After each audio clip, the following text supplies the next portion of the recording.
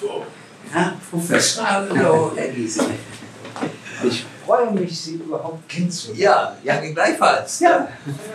So, hier ganz interessant, muss ich sagen. Auf der einen Seite der und auf der anderen Seite Frau Merkel. Ich möchte gerne, dass Sie sehen, wie viele Fragen ich an Sie habe. Bei der Länge der Antworten bitte beachten, Ja. damit wir vor Mitternacht zum Abendbrot beide kommen. Das hoffe ich auch. So.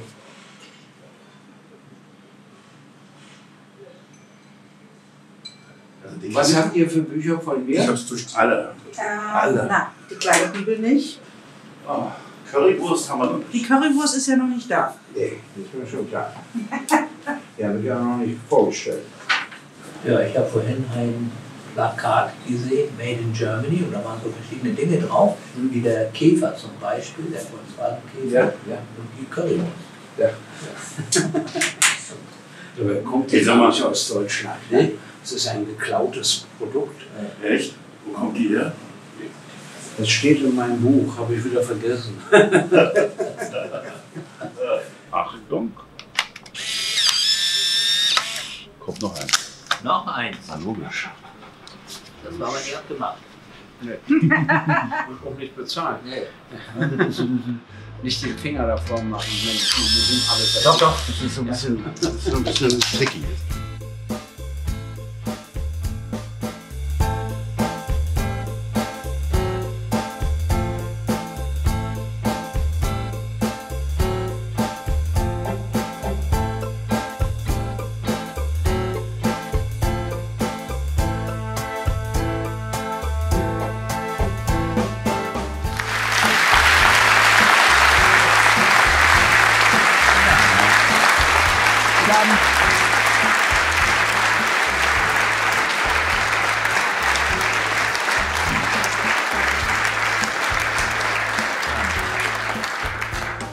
Fange mal mit der ersten Frage an äh, und in der Zeit gieße ich ein, wenn Sie dann antworten, hoffe ich.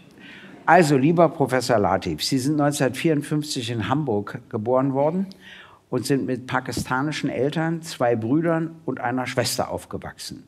Ihr Vater war Imam in Stelling. Meine erste Frage, wie oft waren Sie in Ihrem Leben in Pakistan und sprechen Sie perfekt Pakistanisch? Also ich war nur einmal in meinem Leben in Pakistan. Ist ja äh, und zwar als Kind, als Zehnjähriger.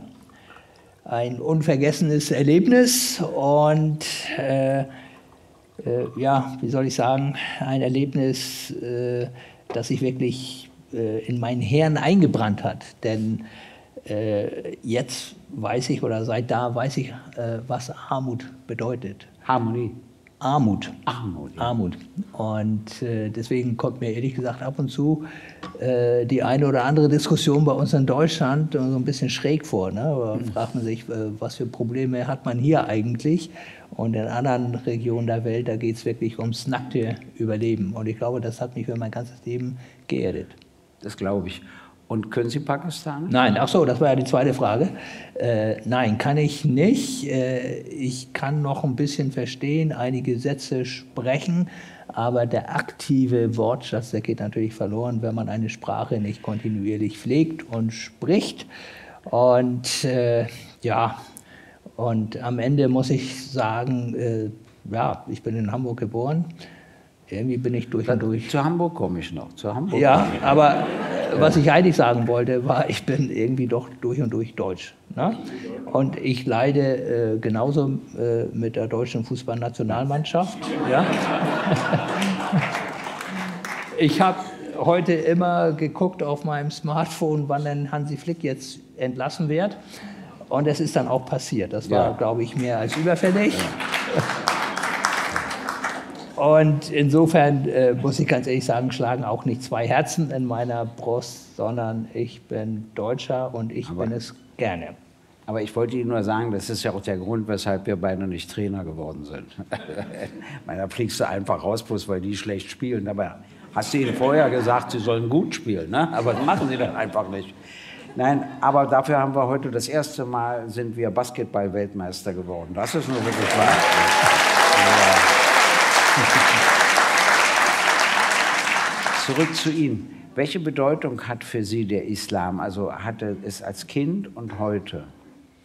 Naja, ich bin ja in einer Moschee groß geworden. Insofern hatte er schon eine gewisse Bedeutung äh, für mich als Kind. Aber ich habe mich doch dann immer weiter von Religion entfernt, äh, weil ja, der Weg ist ja irgendwie dann auch vorgezeichnet worden als Naturwissenschaftler und dann fragt man sich natürlich auch, äh, braucht man jetzt wirklich eine Religion? Und wenn man eine Religion braucht, äh, denke ich, das Wichtigste ist nicht, zu welchem Gott man betet, sondern dass man ein guter Mensch ist. Ja, das stimmt. Wobei, ich bin ja nicht religiös, aber habe immer gestaunt, dass Einstein an Gott glaubte. Also wenn du schon so viel weißt, dann doch irgendein Schöpfer für irgendwas. Es ist ja auch schwer zu erklären, wie das erste Leben entstanden ist auf der Erde. In welcher Art und Weise hat sie Hamburg geprägt? Ist der häufige Regenfall in Hamburg eine Ursache für Ihr meteorologisches Interesse, für Ihr Interesse am Klima? Oder hat das nichts damit zu tun? Also, äh, ich habe mich eigentlich schon immer so ein bisschen für die Natur interessiert, habe mir als Kind schon so ein paar Theorien zurechtgelegt. Äh, eine Theorie äh, hat sich auf Gewitter bezogen. Mhm. Ich habe mich immer gefragt, wieso gibt es Gewitter? Ja? Und äh, dann habe ich mir so eine Theorie zurechtgelegt, äh, die besagt, wenn zwei Wolken zusammenstoßen, ja, dann rumst es, ja, das hört man ja auch, ja, und dann gibt es halt Gewitter. Ne? Ich finde es eine plausible Erklärung, stimmt aber nicht, aber das macht ja nichts. Lässt der Norden Sie nicht los, sodass Sie heute in Schönberg in Holstein leben? Wäre ja, Bayern für Sie? mein ganzes Leben, ich habe 50 Jahre in Hamburg gelebt und äh, ich habe immer noch eine, eine Wohnung in Hamburg. Mhm. Aber irgendwann habe ich mir dann auch gesagt, als das Angebot äh, von Kiel, von der Kieler Uni kam, äh, dort eine Professur anzutreten, willst du wirklich äh, von der Geburt an bis zu deinem Lebensende immer am selben Ort bleiben? Und dann habe ich für mich entschieden, nein, das möchte ich nicht. Und dann bin ich nach Kiel gegangen und ich habe es auch nicht einen Tag lang bereut. Warum? Weil ich war eben vorher beim Max-Planck-Institut für Meteorologie, übrigens Klaus Hasselmann, der Nobelpreisträger für Physik war mein Doktorvater. Und ich habe mich also schon gewissermaßen mit der Muttermilch, äh, mit Klima oder Klimaforschung äh, ernährt oder wurde ernährt. Und dann kam der Ruf äh, ans Institut für Meereskunde und das hat mich einfach interessiert. Dann lernt man eben auch andere Kolleginnen und Kollegen kennen.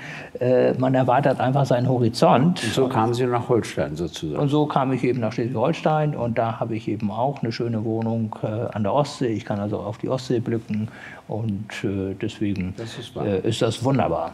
Was wurde aus Ihren Geschwistern? Ja, also mein Bruder äh, ist jetzt in Ruhestand. Äh, der war Richter äh, in Hamburg. Äh, und meine Schwester äh, ist jetzt Oma, die ist zehn Jahre älter als ich ja, und freut sich über ihre Enkel.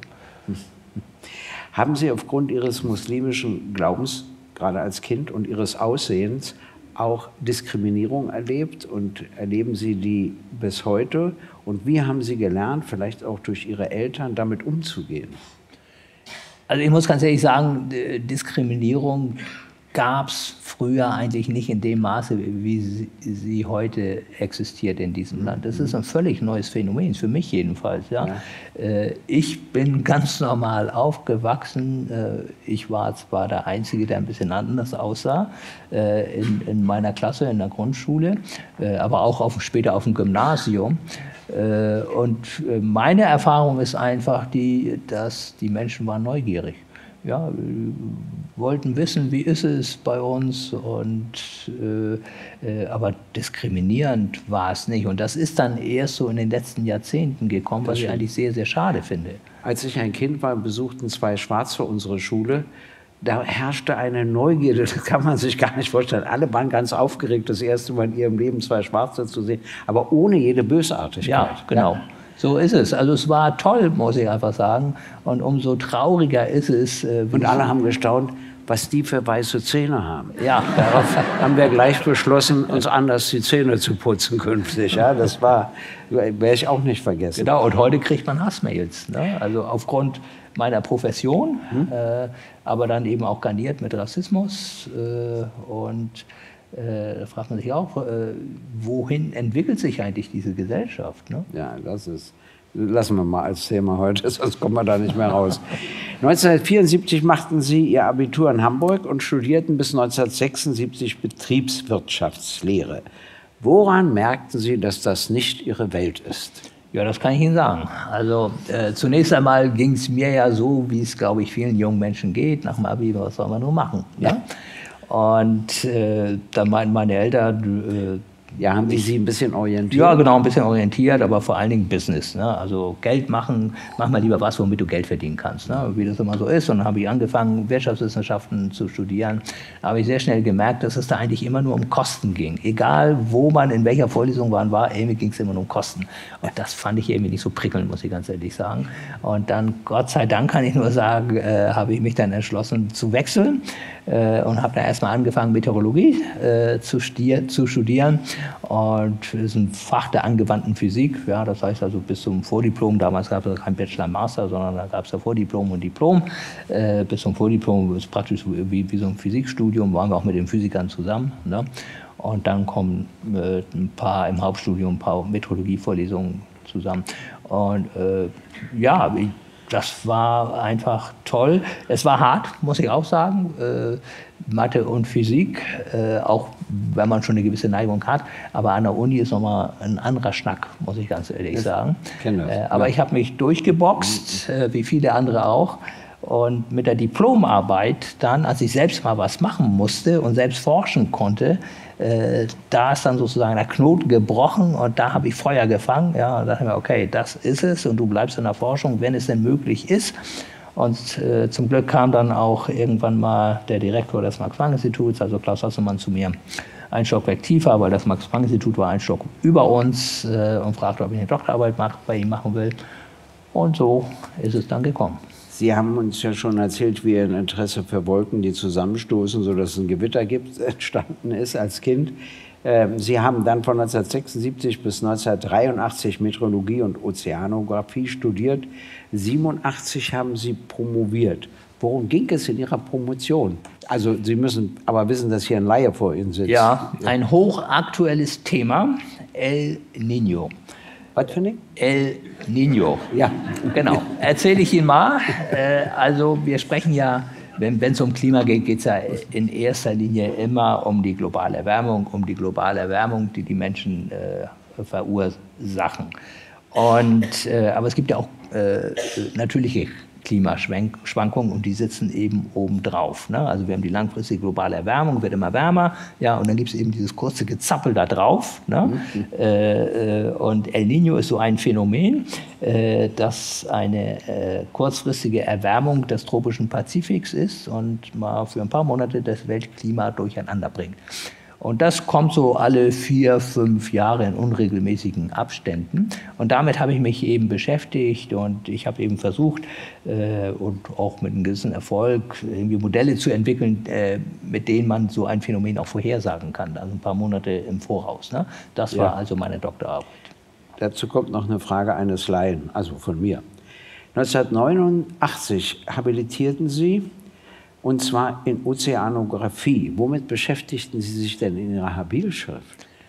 Ja, es gibt äh, viele Phänomene jenseits von El Nino. Also ich habe ja gesagt, es gibt die natürlichen Klimaschwankungen ja. und sehr häufig äh, sind eben die Meeresströmungen daran beteiligt. Ja?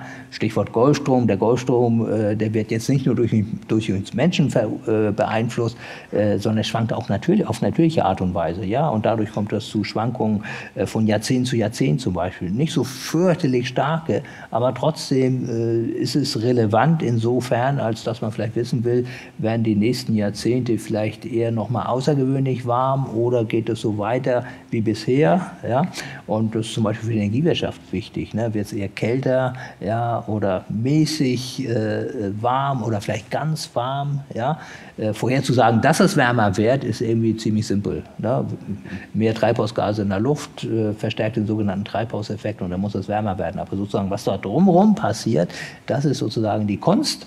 Und äh, da gibt es eben Phänomene im Atlantik, im Nordatlantik, im Nordpazifik, im südlichen Ozean, in den Tropen, also was das Herz begehrt. Und da kann man dann auch drüber habilitieren, äh, weil es eben so viele verschiedene Phänomene gibt. Also der Unterschied zwischen Meteorologie und Ozeanographie ist mir halbwegs klar, wobei ich finde, dass man die Bäche, die Flüsse, die Seen und die Quellwasser niemals auslassen darf. Die sind ja auch wichtig. Trotzdem interessiert mich Folgendes. Ist Meteorologie und Klimawissenschaft im Kern das gleiche oder sind es unterschiedliche Wissenschaften, weil zur Klimaforschung mehr als die Meteorologie gehört? Genau. Das, das ist ja eben der Punkt. Also wenn wir über Klima sprechen, sprechen wir über ein ganzes System. Ja, und die Atmosphäre ist das heißt, eine Komponente des Systems, dann kommt Wasser dazu, also die Weltmeere äh, vor allen Dingen, äh, dann kommt hier das Eis dazu, ganz wichtig, ne, gerade für den Meeresspiegelanstieg, ja. ne, die Böden, also die Landflächen, äh, also dieses ist ein ganz komplexes System und deswegen ist Klima eben viel mehr als nur Wetter. Ne? Können Sie uns erzählen, wann die Klimawissenschaft so als eine übergeordnete, ich sag mal, weitere Wissenschaft entdeckt wurde? Ich nehme an, erst gab es nur Meteorologie, aber irgendwann, wissen Sie wann und durch wen das sich so entwickelt hat? Ja, kann, kann, ich Ihnen sagen, das ging eigentlich Hand, und, Hand in Hand äh, mit der äh, Computerentwicklung. Also mhm. Äh, als die ersten äh, Computer äh, entwickelt wurden, Ende der 50er Jahre, äh, konnte man zwei Dinge machen. Erstens, äh, man konnte jetzt äh, die Wettervorhersage wirklich fundamental verbessern, weil man äh, die zugrunde liegenden mathematischen Gleichungen jetzt eigentlich viel besser lösen konnte, ja, mit Hilfe der Rechenmaschinen. Das, wenn man das mit, wenn wir das jetzt versuchen würden, alle zusammen, das würde ewig dauern. Ne? Angenommen, wir würden einen Tag vorhersagen wollen, bräuchten wir aber mit Papier und Bleistift irgendwie einen Monat oder so. Und das bringt irgendwie die Vorhersage nicht viel. Ne? aber der Computer, der ist zwar doof, ne? Aber der kann das eben schnell. Ne? Und das war sozusagen ein wichtiger äh, Durchbruch. Aber äh, weil der Computer eben so schnell ist, konnten wir jetzt auch andere Komponenten dazu nehmen. Also nicht nur die Meteorologie, sondern die Ozeanographie, also die Meere und so weiter. Und dem Maße, wie sich äh, also die Computer äh, immer verbessert haben, konnten wir immer mehr Komponenten hinzunehmen. Ne? Und deswegen sind wir heute tatsächlich immer noch begrenzt durch die Möglichkeiten der Computer. Also ich höre ja äh, komischerweise selten Wetterbericht im Unterschied zu anderen, wundere mich dann immer, wenn es regnet. Andere haben das vorher schon gehört. Aber häufig kommt es gar nicht so, wie der Wetterbericht sagt. Warum ist das nicht genau genug? Was fehlt da? Das liegt in der Natur der Sache. Also äh, es gibt ja diese berühmte Regenwahrscheinlichkeit. Ne? Und mhm. Regenwahrscheinlichkeit, wenn die nun nicht 100 Prozent ist, ne, äh, heißt ja, äh, es kann regnen, aber es muss nicht regnen. Ne? Und äh, ich will das mal ver vergleichen äh, mit einem Kochtopf. Ne? Stellen Sie mal vor, Sie wollen jetzt Wasser heiß machen. Ne? Ja. Und dann stellen Sie den Kochtopf auf den Ofen oder auf Ihre Herdplatte, was auch immer, ja, und dann gucken Sie sich mal an, wie sich das Wasser da entwickelt. Ne? Und irgendwann steigen da Blasen auf. Ne? Aber sie können nicht vor, sie wissen, dass die Blasen irgendwann aufsteigen. Sie wissen nicht, wo die Blase jetzt wirklich äh, hochkommt. Ne? Und so, so, ist es mit den Wolken. Ne? Sie wissen, okay, äh, da werden irgendwie sich Wolken bilden, aber wo die Wolke jetzt kommt und welche Wolke jetzt regnet und welche nicht, das können Sie nicht vorhersagen. Sie können nur irgendwie sagen, die Wahrscheinlichkeit dafür, dass nun gerade an Ihrem Ort regnet, ist irgendwie 50 Prozent. Und dann kann es tatsächlich sein, dass irgendwie es bei Ihnen regnet und, und drei Kilometer weiter scheint die Sonne. Ne? Und es ist eben anders, wenn, wenn man so, so eine, äh, wie wir sagen, Warmfront hat, ne, wo auf breiter Front alles bedeckt ist, wo die Luft aufgleitet und dann regnet es eben über großen Flächen und dann ist die Regenwahrscheinlichkeit eben 100 Prozent, ne, aber nur dann. Also merke ich schon, ich hätte nie Klimaforscher werden können. Ich bin ja so einer, der braucht es genau.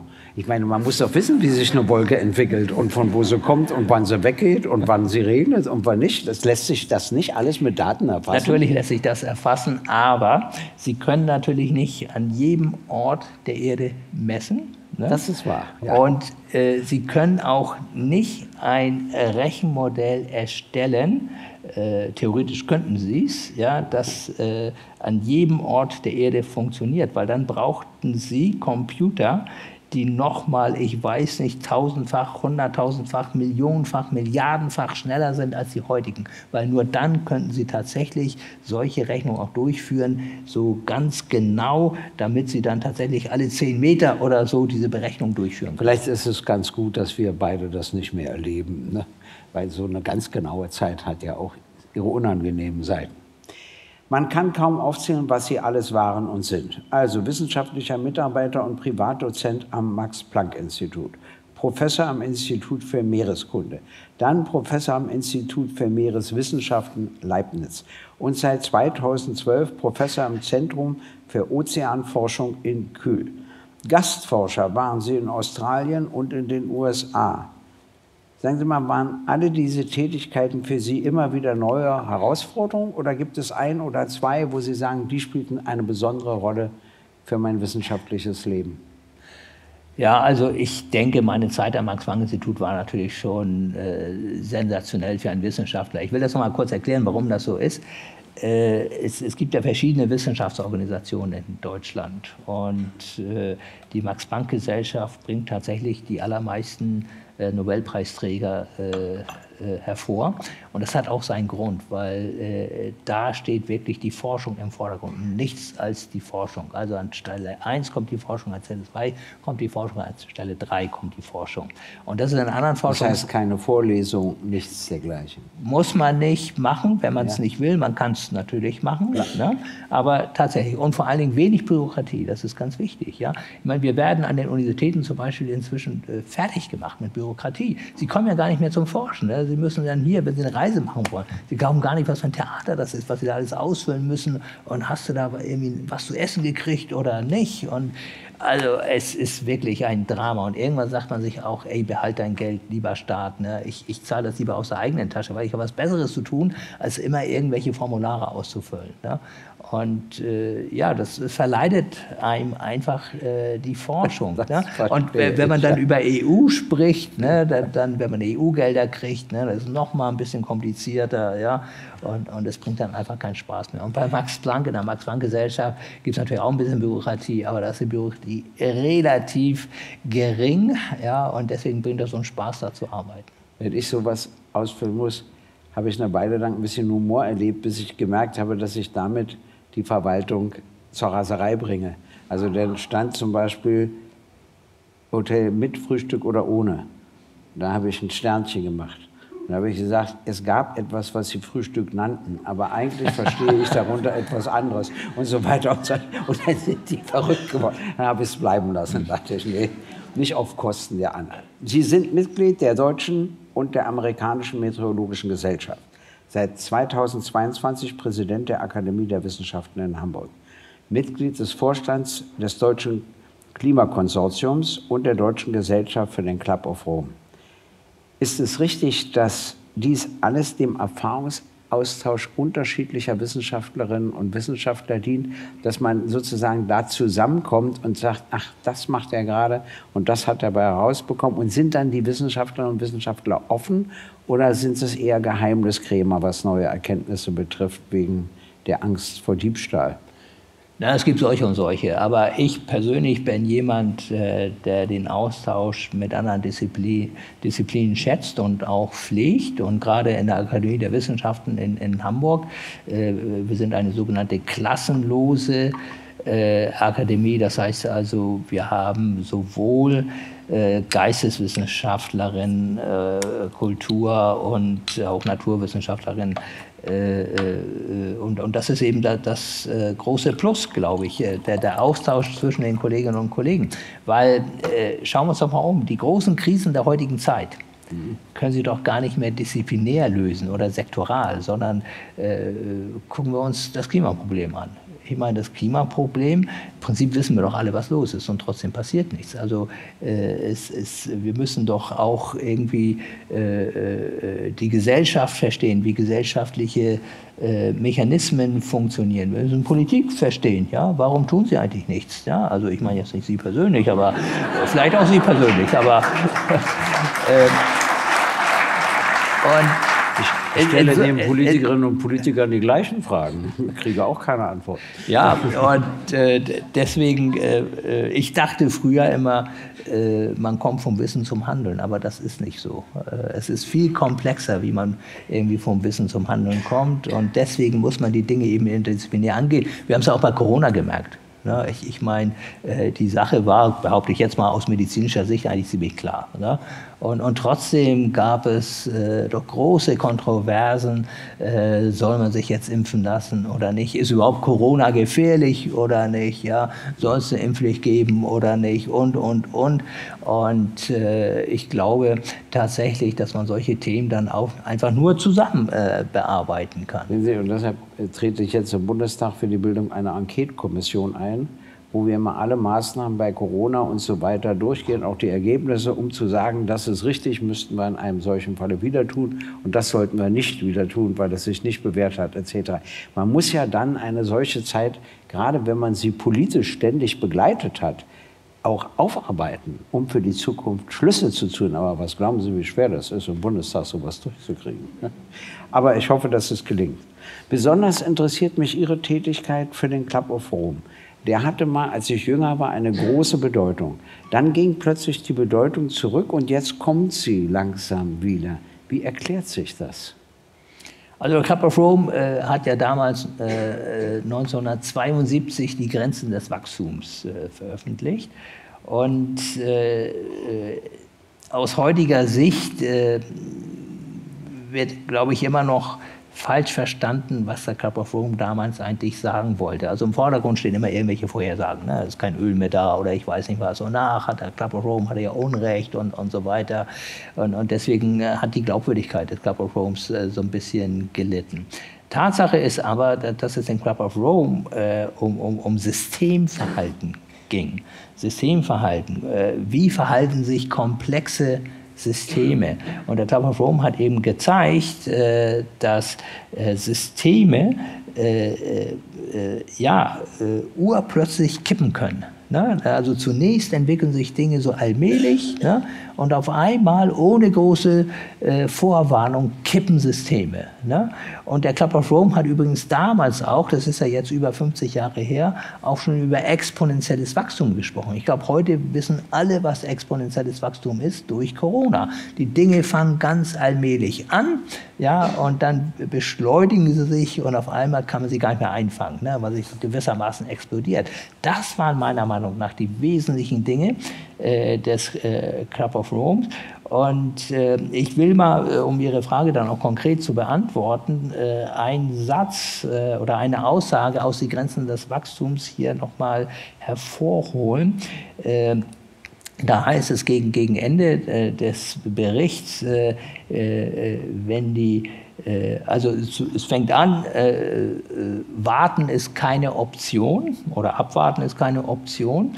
Wenn die äh, Bedrohung und Zwänge offen zutage treten, hat die Weltgesellschaft zu lange gewartet. Ja?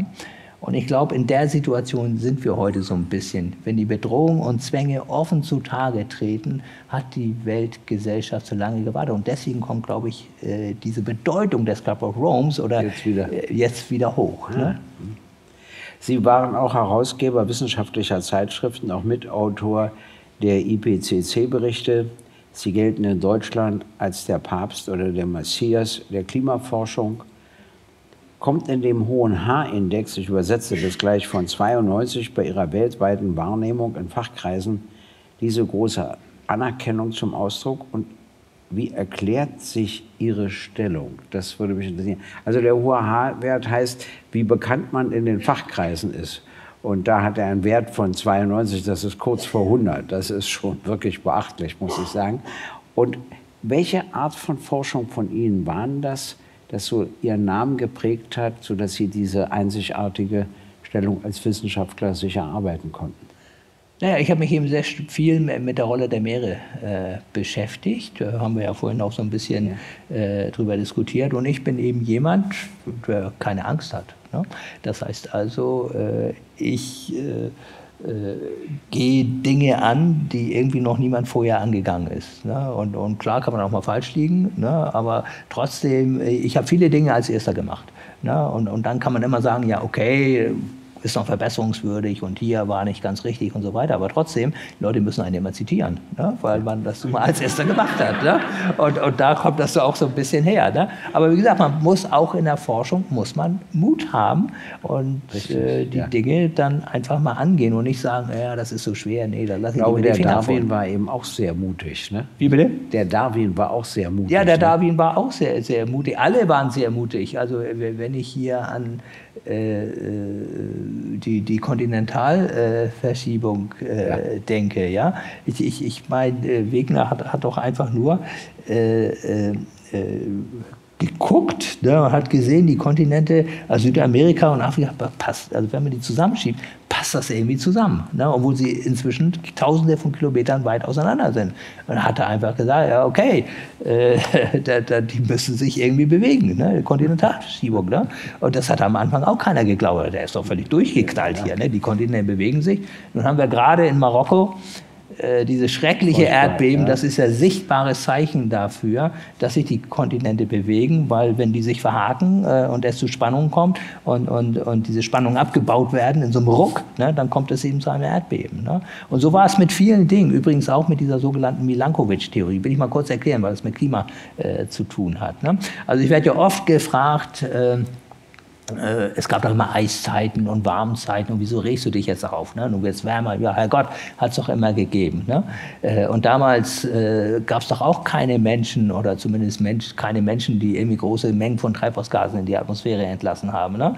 Und äh, Milankovic äh, hat das erklärt und der hat äh, eben gesagt, wenn man sich so die Daten anguckt, sieht man so zum Beispiel einen Rhythmus von 100.000 Jahren. Ne? Also zwischen zwei Eiszeiten sind meistens ungefähr 100.000 Jahre und zwischen zwei Warmzeiten sind auch 100.000. Also es gibt so eine Periode von 100.000 Jahren.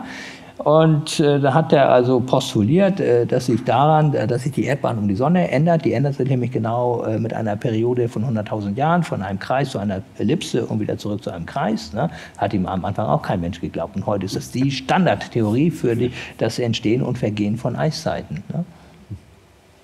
Die möchte ich nun auch nicht erleben. Eine Eiszeit. Da friert man ja ständig. Ja, aber das dauert natürlich. Äh, vielleicht zu, zur Eiszeit. Ne? Ja. Äh, die letzte Eiszeit, der Höhepunkt der letzten Eiszeit war vor gut 20.000 Jahren. Ne? Und da wissen wir ja, da war ja also an große Teile äh, vor 20.000 Jahren. Vor 20.000 der Höhepunkt. Ne? Dann haben wir ja noch 80.000 Jahre Zeit. Ja, Moment. Da wollte ich eben, da wollte ich eben gerade äh, drauf äh, hinaus. Also vor gut 20.000 Jahren haben wir dicke Eispanzer, Kilometer dick. Ne? Ja. Äh, und äh, jetzt äh, ist ja ein neuer Klimafaktor hinzugekommen, nämlich wir, wir Menschen. Ne? Richtig. Und wir haben es schon geschafft, weil wir schon so viel CO2 in die Atmosphäre gepumpt haben, dass die nächste Eiszeit ausfällt. Also die wird eben nicht kommen. Ne? Und deswegen, ich will jetzt keine Werbung für mein Buch machen, aber deswegen habe ich eben äh, ein Buch Heißzeit genannt, ne? in Anlehnung an Eiszeit, Heißzeit, um ja. nochmal die Dramatik sozusagen dieser globalen Erwärmung deutlich zu machen. Ich glaube, dass Ihre Wissenschaftlichkeit, Ihr Mangel an Polemik, Ihr Hang zur Logik auch eine wichtige Rolle bei Ihrem Bekanntheitsgrad spielen. Äh, was ich sehr schätze. Ich muss Ihnen sagen, als ich, na, wie alt war ich? 18, so machte so mein Abitur. Äh, es gab in der DDR einen Nobelpreisträger, Gustav Herz. Allerdings hat er den Nobelpreis bekommen, da gab es die DDR noch gar nicht in den 20er Jahren, aber der lebte dort und der sprach zu uns und der erzählte etwas, was ich nie vergessen werde. Er sagte, der Röntgen ist ja so berühmt geworden, weil er äh, die Strahlen entdeckt hat. Und da hat er einen Versuch gemacht und hat eine grüne Farbe gesehen, die er sich nicht erklären konnte. Und daraufhin hat er eben geforscht und die Röntgenstrahlen gefunden oder X-Strahlen, wie sie auch hießen. Und das Interessante war, sagte er, dass dann viele hinterher sagten, na, was ist da schon dabei? Äh, er hat das Experiment gemacht, hat das Grüne gesehen Und dann hat er immer gesagt, ja, aber 3000 vor ihm hatten auch das Experiment gemacht. Und sie, ihnen ist das Grüne nicht aufgefallen. Da habe ich begriffen, ähm, was ein Forscher können muss. Er muss sich auch wundern können. Ähm, wenn du das so leichtfertig drüber hinweggehst, da ist eben irgendwas Grünes, na schön, dann kannst du nicht auf neue Erkenntnisse kommen. Das hat sich mir tief eingeprägt, wollte ich Ihnen erzählen. Sie treten häufig im Fernsehen und im Hörfunk auf, werden als Gast, gerade als Experte für globale Erwärmung eingeladen. Die Kehrseite besteht in Hasstiraden von Klimaleugnerinnen und Klimaleugnern. Wie gehen Sie mit diesen Tiraden um? Und da würde mich interessieren, Sie waren ja bei Lanz, da war ja einer von der AfD, der auch alles besser wusste. Na gut, den haben Sie einfach in die Tasche gesteckt, wie man so sagt. Aber, äh, aber trotzdem, es ist ja auch nicht so leicht, der Umgang mit dieser Gegnerschaft. Ich meine, ich kenne den von 90, 91, 92, 93, 94. Aber wie gehen Sie damit um? Naja, was soll ich machen? Also, äh, ich bekomme natürlich sehr viele äh, E-Mails. Äh, und äh, einige sind eben nun dieser Art, wie Sie gerade beschrieben haben, oh, ich lösche die einfach. Ne? ich meine, was soll ich so machen?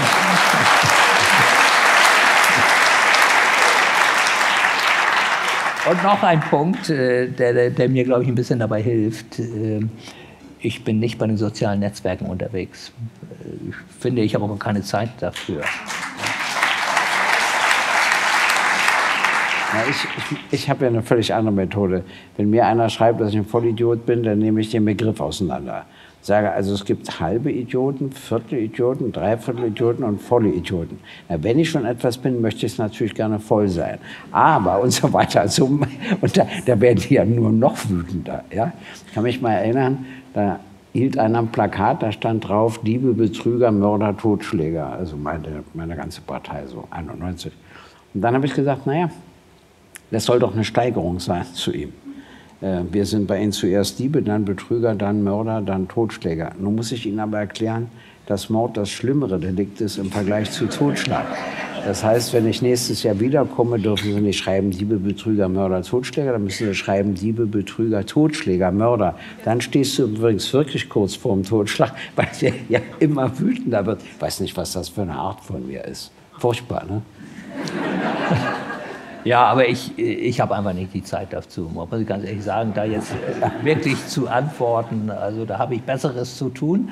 Und ich glaube auch, äh, dass das Nicht-Antworten äh, auch eine Art von Bestrafung ist, weil die wünschen sich ja nichts sehnlicher, als mit mir ins Gespräch oder in eine scheinbare Diskussion zu kommen. Und ich glaube, das Ignorieren ist die Höchststrafe irgendwo. Ne? Ja, da gibt es für wen eine andere Grenze, da höre ich dann auch auf. Dann schreibe ich auch, das war die letzte Korrespondenz und so, wenn so ein Rahmen vollständig gesprengt wird. Das stimmt. Äh, wir müssen ja kurz vor der Pause doch noch schon mal zum Klima kommen. Also, Sie meinen, dass der Beschluss, die Erwärmung auf 1,5 Grad Celsius zu begrenzen, schon deshalb eine Illusion ist, weil dann der CO2-Ausstoß mit 2030, mit 2030 mindestens halbiert sein müsste, was er aber nach allen Berechnungen nicht sein wird. Wenn Sie so eine Feststellung treffen, wie reagiert denn dann die Politik?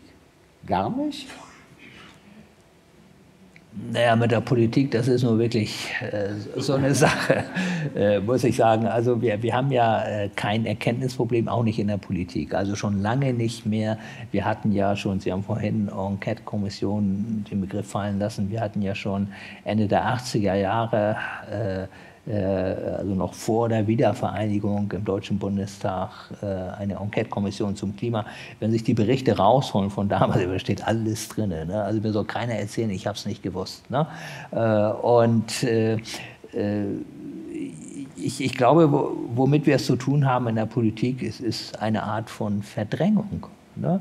wenn man jetzt, also jetzt wenn man äh, den Bundeskanzler jetzt gerade gehört hat, ne, beim G20-Gipfel, ne, äh, jeder vernünftige Mensch weiß, dass da nichts rausgekommen ist. Ganz im Gegenteil, es war ein Rückschritt. Ne? Ich meine, Russland wird überhaupt nicht mehr irgendwie äh, angegriffen, sondern da steht dann irgendwie so eine Floskel, äh, weiß ich nicht, Angriffs, Angriffskrieg soll nicht sein, ich weiß nicht, ich kenne die genaue Formulierung nicht. Und dann lobt äh, der Kanzler das über den Klee und wir sind wieder über einen äh, Schritt vorangekommen. Und so ist beim Klima ganz genauso. Ne? Ich will Ihnen mal eine Geschichte erzählen. Äh, äh, das war ein Weltwirtschaftsgipfel, genau, in Heiligendamm.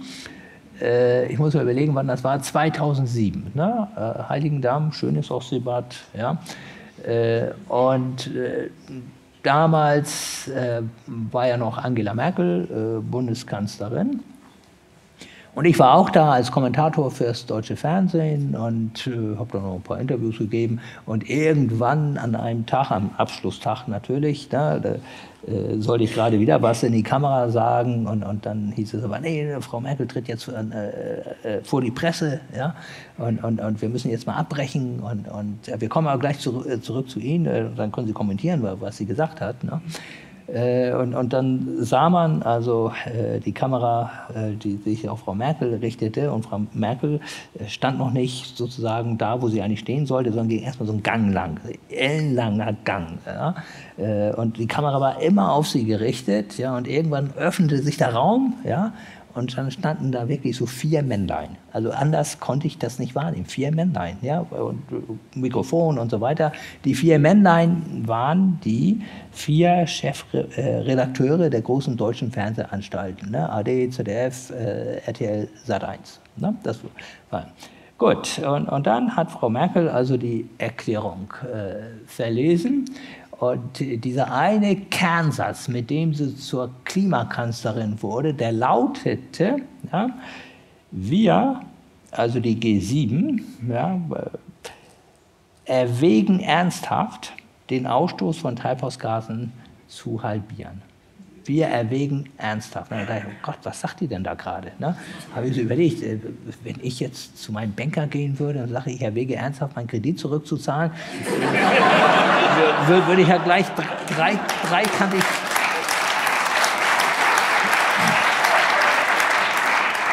würde ich gleich dreikantig äh, rausfliegen und, und, und dann musste ich was sagen. Ne? Ja, Herr Latif, äh, wie bewerten Sie jetzt die Abschlusserklärung und so weiter? Äh, und dann habe ich so ein bisschen da rumgedruckt und habe gesagt, ja, nichts Konkretes und, und so weiter. Und ich merkte schon, wie die Moderatorin irgendwie so unruhig wurde, weil die hat das als großen Erfolg empfunden. Ja, ja klar, ne? klar, klar. Naja, und, und äh, dann sagte sie am Ende tatsächlich, aber Sie müssen auch was Positives sagen. Ne? Und das Einzige, was mir in dem Moment einfiel, war, ja, die treffen sich nächstes Jahr wieder. Ne? Ich wollte Ihnen erzählen, das wachsende Misstrauen von Teilen der Bevölkerung in die Politik hängt ja auch damit zusammen, dass man gar nicht ehrlich beschreibt, wie es zu Entscheidungen kommt. Mhm. Ich will Ihnen mal ein Beispiel sagen. Also wir hatten ja Gesundheitsminister jetzt hintereinander. Während der Corona-Krise waren natürlich alles die besten Virologen, ist völlig klar. Das heißt, die tun immer so, als ob sie selber Virologen sind. Aber dabei kannst du morgen Innenminister und übermorgen Landwirtschaftsminister sein, das spielt ja keine Rolle. Du trägst ja in Wirklichkeit nur eine gewisse politische Verantwortung. Sehen Sie, und dann habe ich dem einen mal erzählt und dem anderen, dass ich das völlig anders gemacht hätte. Ich hätte eine Kommission aus zehn international anerkannten Virologinnen und Virologen gebildet. Und wenn die sich einig gewesen wären, hätte ich immer eine oder einen, und nicht immer den gleichen, immer einen anderen mitgenommen. Und der hätte gesagt, ja, wir haben beraten, haben das ihm vorgeschlagen und so weiter. Und dann sage ich, ja, weil ich das einleuchtend finde, werde ich das machen. Und dann hätte ich die Situation gehabt, dass sie unterschiedliche Meinungen gehabt hätten. Hätte ich zwei mitgenommen, um den Leuten klarzumachen, was da eigentlich passiert. Und dann hätte der Erste gesagt, ich habe ihm gesagt, wenn er nicht das Grundrecht einschränkt, nicht das Grundrecht einschränkt, dann wird es 100.000 Infizierte mehr geben als ansonsten und mindestens 3.000 Tote mehr geben. Hm, sag ich jetzt Sie. Dann sagt der andere, das ist alles Quark, ist überhaupt nicht nötig, es reicht völlig, wenn er das macht.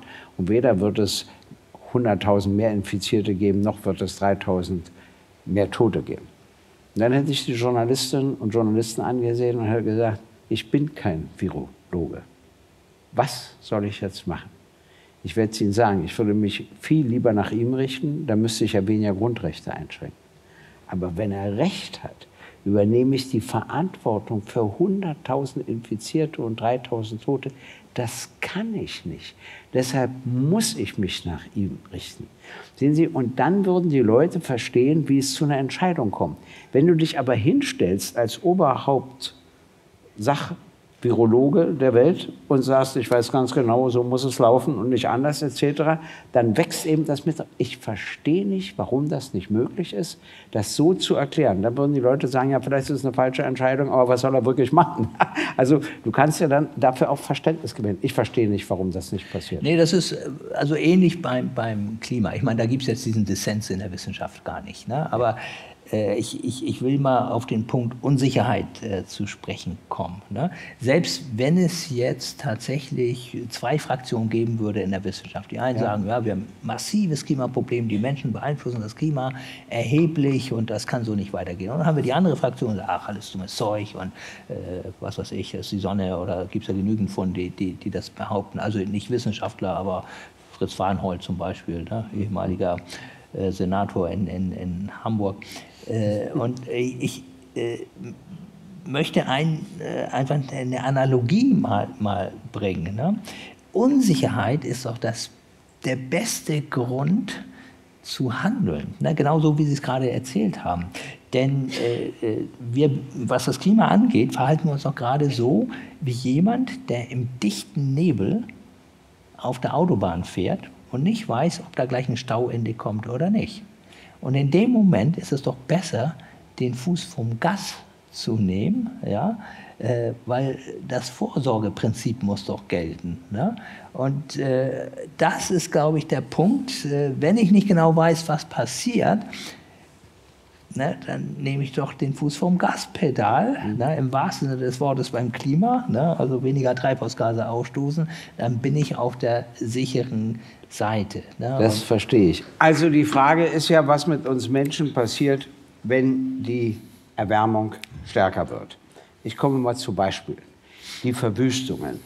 Also der Untergeneralsekretär der UNO, Herr Steiner, der zuständig ist für Nothilfe und für Entwicklung, hat mir erklärt, dass er vor 15 Jahren oder so gab es für Nothilfe und Entwicklung 10 Milliarden Dollar und da konnte konnte man beides finanzieren. Heute hat er 40 Milliarden Dollar und schafft gerade mal die Nothilfe. An Entwicklung ist gar nicht zu denken, weil Verwüstung plötzlich 100.000 Leute umziehen müssen. Ja, wohin denn? Wohnung, Wasser, alles brauchst du etc. Hat das miteinander zu tun und werden diese Verwüstungen weiter zunehmen? Ja, es sieht ganz danach aus. Also 2023, dieses Jahr, äh, zeigt ja, in welche Richtung tatsächlich die Entwicklung geht. Ich möchte noch mal Revue passieren lassen. Ich meine, wir vergessen so schnell, weil so viele Dinge passieren. Aber zum Jahreswechsel hatten wir Temperaturen von um die 20 Grad. Silvester, das muss man sich mal vorstellen, 20 Grad. Äh, wir hatten letztes Jahr in Hamburg 40,1 Grad. Ich hätte mir nie träumen lassen, dass wir in Hamburg ja, mal 40 Grad oder höhere Temperaturen haben würden. Äh, dann hatten wir die verheerenden äh, äh, Dürren in, in, Italien, in Spanien schon im Frühjahr. Dann kamen die sintflutartigen Niederschläge in Norditalien beispielsweise. Das gleiche haben wir jetzt in Griechenland erlebt. Unfassbare Katastrophen, Regenfälle, die hat es in Europa in dieser Intensität noch nie gegeben. Das heißt, äh, wir sehen inzwischen die Auswirkungen fast überall, äh, auch wenn wir dann äh, nach Nordamerika blicken, die Waldbrände, die größten Waldbrände in der Geschichte des Kanadas, Landes. Ne? Ja. Teilweise mussten in den USA, also gar nicht da, wo es gebrannt hat, sondern in den USA, äh, circa 100 Millionen Menschen vor schlechter Luftqualität gewarnt werden infolge der Brände in Kanada, also New York, Chicago, Detroit und, und, und so weiter. Es sind unfassbare äh, Verhältnisse und äh, das ist, das muss jetzt äh, wirklich mal ein Ende haben. Und das bedeutet eben, dass die Welt endlich begreifen muss, dass sie zusammenarbeiten muss, weil wir haben ja eine völlig neue Herausforderung, vor der die Menschheit steht, vor der hat die Menschheit so noch nie gestanden. Alle Länder müssen gemeinsam dieses Problem angehen. Weil, das will ich auch gerne erklären, äh, so ein Gas wie CO2 beispielsweise, wenn wir es ausstoßen, verweilt das in der Atmosphäre für Jahrhunderte bis Jahrtausende. Das heißt also, es verteilt sich um den Erdball, egal wo es rauskommt, weil es so lange lebt. Ja? Und, und es kommt doch nicht von ungefähr, dass nun gerade die äh, Pole schmelzen obwohl da überhaupt gar keiner CO2 ausstößt. Ne? Das zeigt ja äh, die, die, die, dieses Problem, vor dem wir stehen. Ja? Und das hat die Welt noch nicht begriffen. Wir haben jetzt gerade wieder den G20-Gipfel gehabt. Da gab es so eine windelweiche Erklärung zum Klimaschutz. Also jetzt nicht nur zum Krieg äh, äh, Russlands gegen die Ukraine, sondern auch zum Klimaschutz. Und ja, da hat man sich dann darauf geeinigt, äh, dass man sich irgendwie bemühen will, äh, die erneuerbaren Energien oder den Ausbau der erneuerbaren Energien zu beschleunigen, zu verdreifachen. Ja, aber ich meine, wie oft habe ich diese Erklärung gehört? Ja? Und äh, es ist nie letzten Endes was passiert. Und es gibt nur eine Zahl, die relevant ist. Äh, da kann man sich drehen und wenden, wie man will. Und das ist der Gehalt von Treibhausgasen in der Luft und der steigt. Können bewohnte Inseln untergehen, sodass wir dann logischerweise ein weiteres Flüchtlingsproblem haben? Die, die Regierung der Malediven hat ja mal unter Wasser getagt, um genau. zu zeigen, äh, was da auf sie zukommt. Ja, wir müssen da gar nicht so weit weggehen. Wissen Sie, ich war vor ein paar Wochen in Wales. Ja? Äh, und äh, für eine ARD-Doku und dort haben wir Menschen interviewt, äh, denen gesagt wurde von offizieller Stelle, äh, ihr müsst euch eine neue Heimat suchen. Ich rede jetzt nicht über Bangladesch, ich rede nicht für, über irgendeine Südseeinsel, ich rede über Europa. Dort gibt es bereits Klimaflüchtlinge. Das heißt, wir müssen uns nicht immer vorstellen, die kommen immer von weit her und so weiter, sondern ja. natürlich werden auch bei uns Klimaflüchtlinge entstehen. Und ich glaube, wir können uns alle gar nicht vorstellen, was das bedeutet, wenn die Meere immer weiter ansteigen, äh, wenn immer mehr Küstenregionen betroffen sind. Und äh, das kostet ja heute auch schon viel Geld. Ich meine, auch wir bauen ja schon die Deiche hoch an Nord- und Ostsee. Ne? Und äh, das kostet doch Geld. Dieses Geld fällt doch nicht vom Himmel. Es kostet uns schon Geld und wir geben schon Milliarden von Euro jedes Jahr für die Klimaschäden aus oder um uns anzupassen. Und um auf Frau Merkel zurückzukommen, ich will ja auch mal was Positives sagen. Äh, äh, sie hat mal gesagt, und das ist völlig richtig, äh, wir sollten nicht fragen, was uns der Klimaschutz kostet wir sollten fragen, was es uns kostet, wenn wir keinen Klimaschutz betreiben. Das ist richtig. Überschwemmungen, Wasserstand, Stürme und weitere Unwetter. Kann man sagen, dass die Stärke der Stürme, also kommt mir ja auch so vor, als ob die jetzt viel stärker sind als früher. Das kann natürlich ein Wissenschaftler widerlegen, wenn er das über Jahrzehnte verfolgt. Trotzdem interessiert mich, hat das alles auch mit CO2? Hat das alles auch mit Erderwärmung zu tun, dass die Stürme so viel schlimmer sind? Die haben ja jetzt Folgen in den USA, wie man sie vorher kaum kannte. Ja. Ja, das muss man äh, differenziert äh, betrachten. Also Sturm ist eben nicht gleich Sturm. Und äh, was wir beobachten, ist äh, auf der einen Seite, dass sich die Meere ja dramatisch erwärmen. Also im Moment ja, haben wir tatsächlich die wärmsten Temperaturen, die wir jemals an der Oberfläche der Meere gemessen haben. So warm waren die Meere noch nie. Und das äh, bedeutet eben, äh, dass auch mehr Verdunstung stattfindet. Und wir sprechen in der Wissenschaft von latenter Energie. Ja?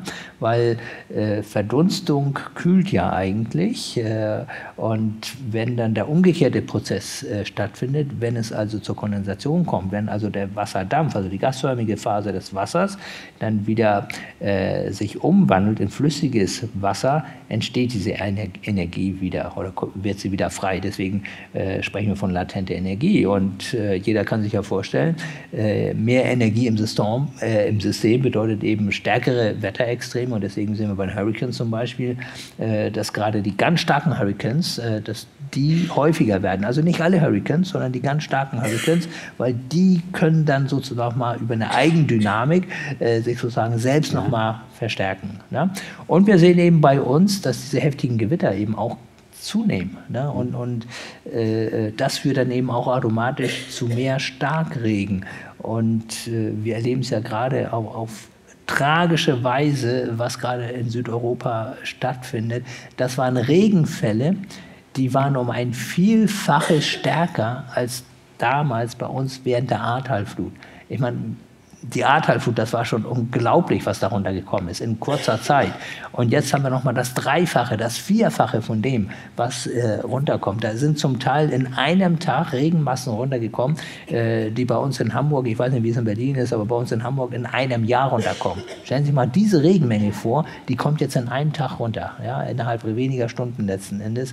Äh, da kann man sich auch nicht mehr anpassen. Und deswegen gibt es eben auch Grenzen, ja, auf der einen Seite, das haben wir schon so ein bisschen diskutiert, der Vorhersagbarkeit. Ich meine, ich habe auch nicht die Weisheit mit Löffeln gefressen. Ne? Ich habe auch einen Doktortitel, der ist auch echt. Ne? Ich habe sogar äh, äh, äh, Professorentitel aber das System ist so komplex, ich kann es auch nicht in allen Facetten vorhersagen. Es gibt Grenzen der Vorhersagbarkeit. Ne?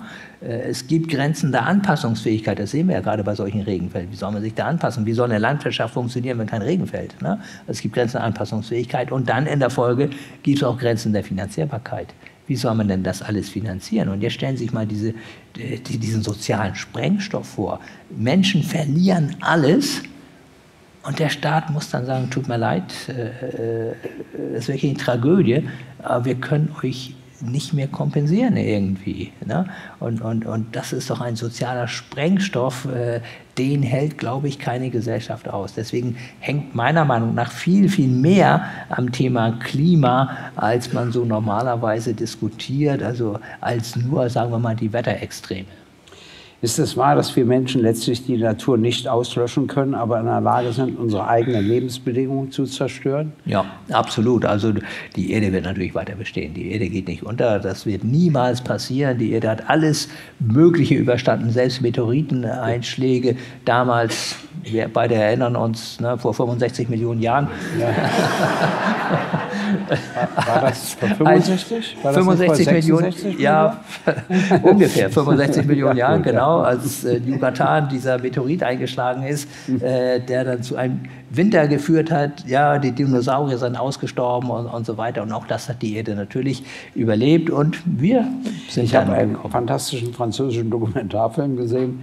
Und zwar ähm, wo Frankreich bei der Insel Bikini und so immer unter Wasser die Atomwaffenversuche gemacht hat. Und da können wir natürlich nicht mehr leben, ist ja alles schwer kontaminiert. Und, aber die Forscher, denen lässt das ja keine Ruhe. Da sind sie bei 18 Schutzanzügen hin und runtergetaucht und haben gesagt, es wimmelt von Pflanzen und Tieren, die sind alle schwer kontaminiert, aber das ist denen völlig wurscht. Nur wir können dort nicht mehr leben. Da habe ich auch gestaunt, ehrlich gesagt. Ist es wahr, dass insbesondere ohne die USA und ohne China sämtliche wichtigen klimapolitischen Ziele nicht zu erreichen sind? Und wenn das stimmt, könnte das nicht eine Ausrede für viele Staaten sein, klimapolitisch nichts zu tun, weil ja in den USA und in China zu wenig passiert? Ja, diese Argumentation hört man sehr häufig. Ich will das nochmal in Zahlen fassen. Also China hat einen Anteil an den weltweiten CO2-Emissionen von knapp 30 Prozent. Also 30 Prozent des weltweiten CO2-Ausschusses entfallen auf China. 14 Prozent ungefähr auf die USA. Da sind wir schon 14. 14, 1, 4. Ja, also China Nummer 1, USA ja. Nummer 2. Und klar, die müssen etwas tun, äh, aber äh, es gibt natürlich äh, auch so etwas wie eine historische Verantwortung. Und äh, ich habe es ja erzählt, CO2 verweilt ja sehr lange in der Atmosphäre, was unsere Eltern in die Luft geblasen haben, was unsere Großeltern in die Luft geblasen haben, alles noch da oben. Ne? Und wenn man dann fragt, wer hat denn das da oben reingebracht, was wir heute dort messen, dann waren es eben nicht die Chinesen zuallererst, sondern die US-Amerikaner zuallererst. Und da sehen Sie schon die Konfliktlinie ne, bei den Klimaverhandlungen. Die Chinesen sagen, ne, ich bin ja nicht der Hauptverantwortliche, bist du Du Amerikaner, du US-Amerikaner, du hast das allermeiste da reingebracht. Ungefähr ein Viertel des CO2, das wir heute dort messen, kommt von den US-Amerikanern. Ja.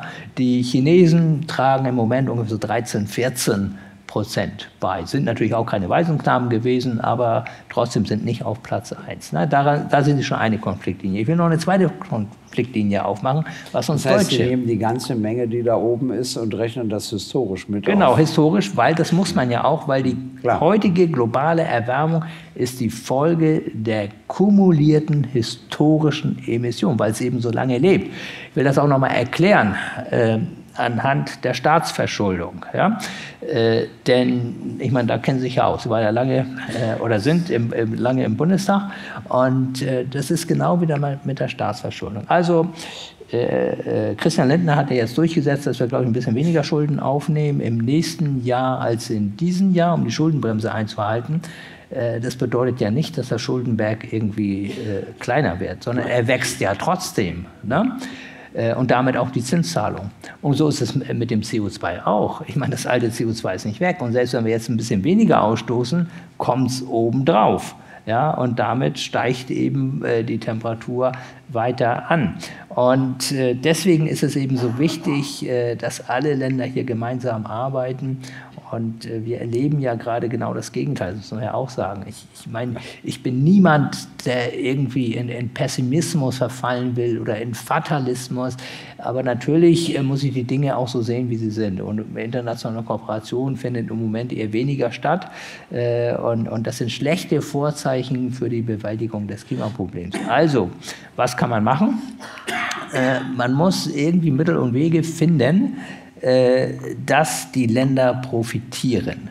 Und zwar, man muss irgendwie Abkommen finden, äh, wo dann wirklich beide Parteien oder je nachdem, wie viele äh, äh Länder da jetzt äh, vertreten sind, äh, auch davon profitieren. Da kann man sich äh, Modelle überlegen, wie das auch funktionieren könnte. Aber eins ist klar, das wird nicht anders sein diejenigen, die das Problem verursacht haben, und das sind zuallererst die Industrienationen, die müssen einen Teil ihres Wohlstands, das ist gar nicht so viel, aber einen Teil ihres Wohlstands dafür aufbringen, den jetzt nachfolgenden Ländern äh, Wohlstand zu ermöglichen. Richtig.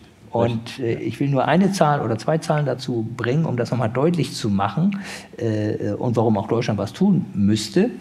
Äh, wir, jeder von uns hier im statistischen Mittel entlässt acht Tonnen CO2 pro Jahr. In Indien sind es pro Kopf zwei.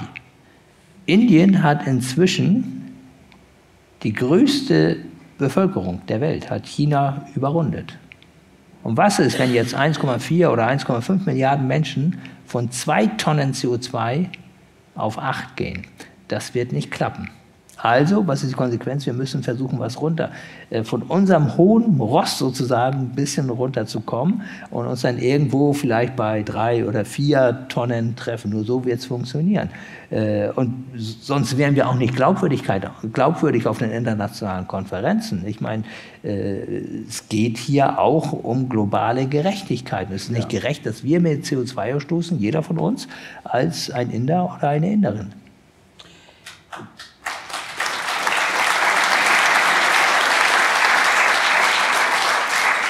Warum ist es gerade wichtig, dass eben auch Länder wie Deutschland, Frankreich, Großbritannien, Italien, ich nehme mal die skandinavischen Länder dazu, die spielen ja noch eine eigene Rolle. Welche Rolle müssten sie spielen? Also einmal, dass sie Vorteile anderen Ländern anbieten, äh, damit die reduzieren, aber indem wir logischerweise auch selbst reduzieren etc. Welche Rolle können solche Länder noch spielen? Also wir brauchen ja Energie und zwar brauchen wir saubere Energie. Und äh, viele Entwicklungsländer haben die erneuerbare Energie, die wir nicht haben. Die könnte man jetzt nutzen, entweder direkt, wenn ich an Nordafrika denke, also technologisch ist überhaupt kein Problem, dort äh, Sonnenstrom herzustellen, den zu uns zu äh, leiten, ja, durchs Mittelmeer, keine großen Entfernungen. Verluste liegen in einer Größenordnung von maximal 10 Prozent. Also technologisch ist alles kein Problem. Äh, und das würde natürlich auch den Nordafrikanern oder auch anderen Ländern äh, ein, ein, eine Entwicklungsperspektive bieten. Und beide hätten etwas davon. Ja? Die, die äh, Entwicklungsländer können sich weiterentwickeln, können Wohlstand generieren. Ich glaube, das würde auch die Demokratie fördern, ja, weil Menschen können Teilhabe haben. Äh, und wir äh, würden dann eben saubere Energie bekommen, die wir natürlich bezahlen müssen. Nichts ist umsonst. Wir bezahlen auch Kohle und, und Öl und Gas und, und so weiter. Ne? Das wäre zum Beispiel so ein Modell, dass man einfach versucht, die, die, diese äh, Partnerschaften, diese Energiepartnerschaften aufzubauen. Ne? Und das tut niemandem weh. Es, es tut nur, wenn ich das kurz sagen, es tut nur den Energiekonzern oder den, den Mineralölkonzern weh. Aber das ist mir ehrlich gesagt völlig egal, ob es denen weh tut oder nicht.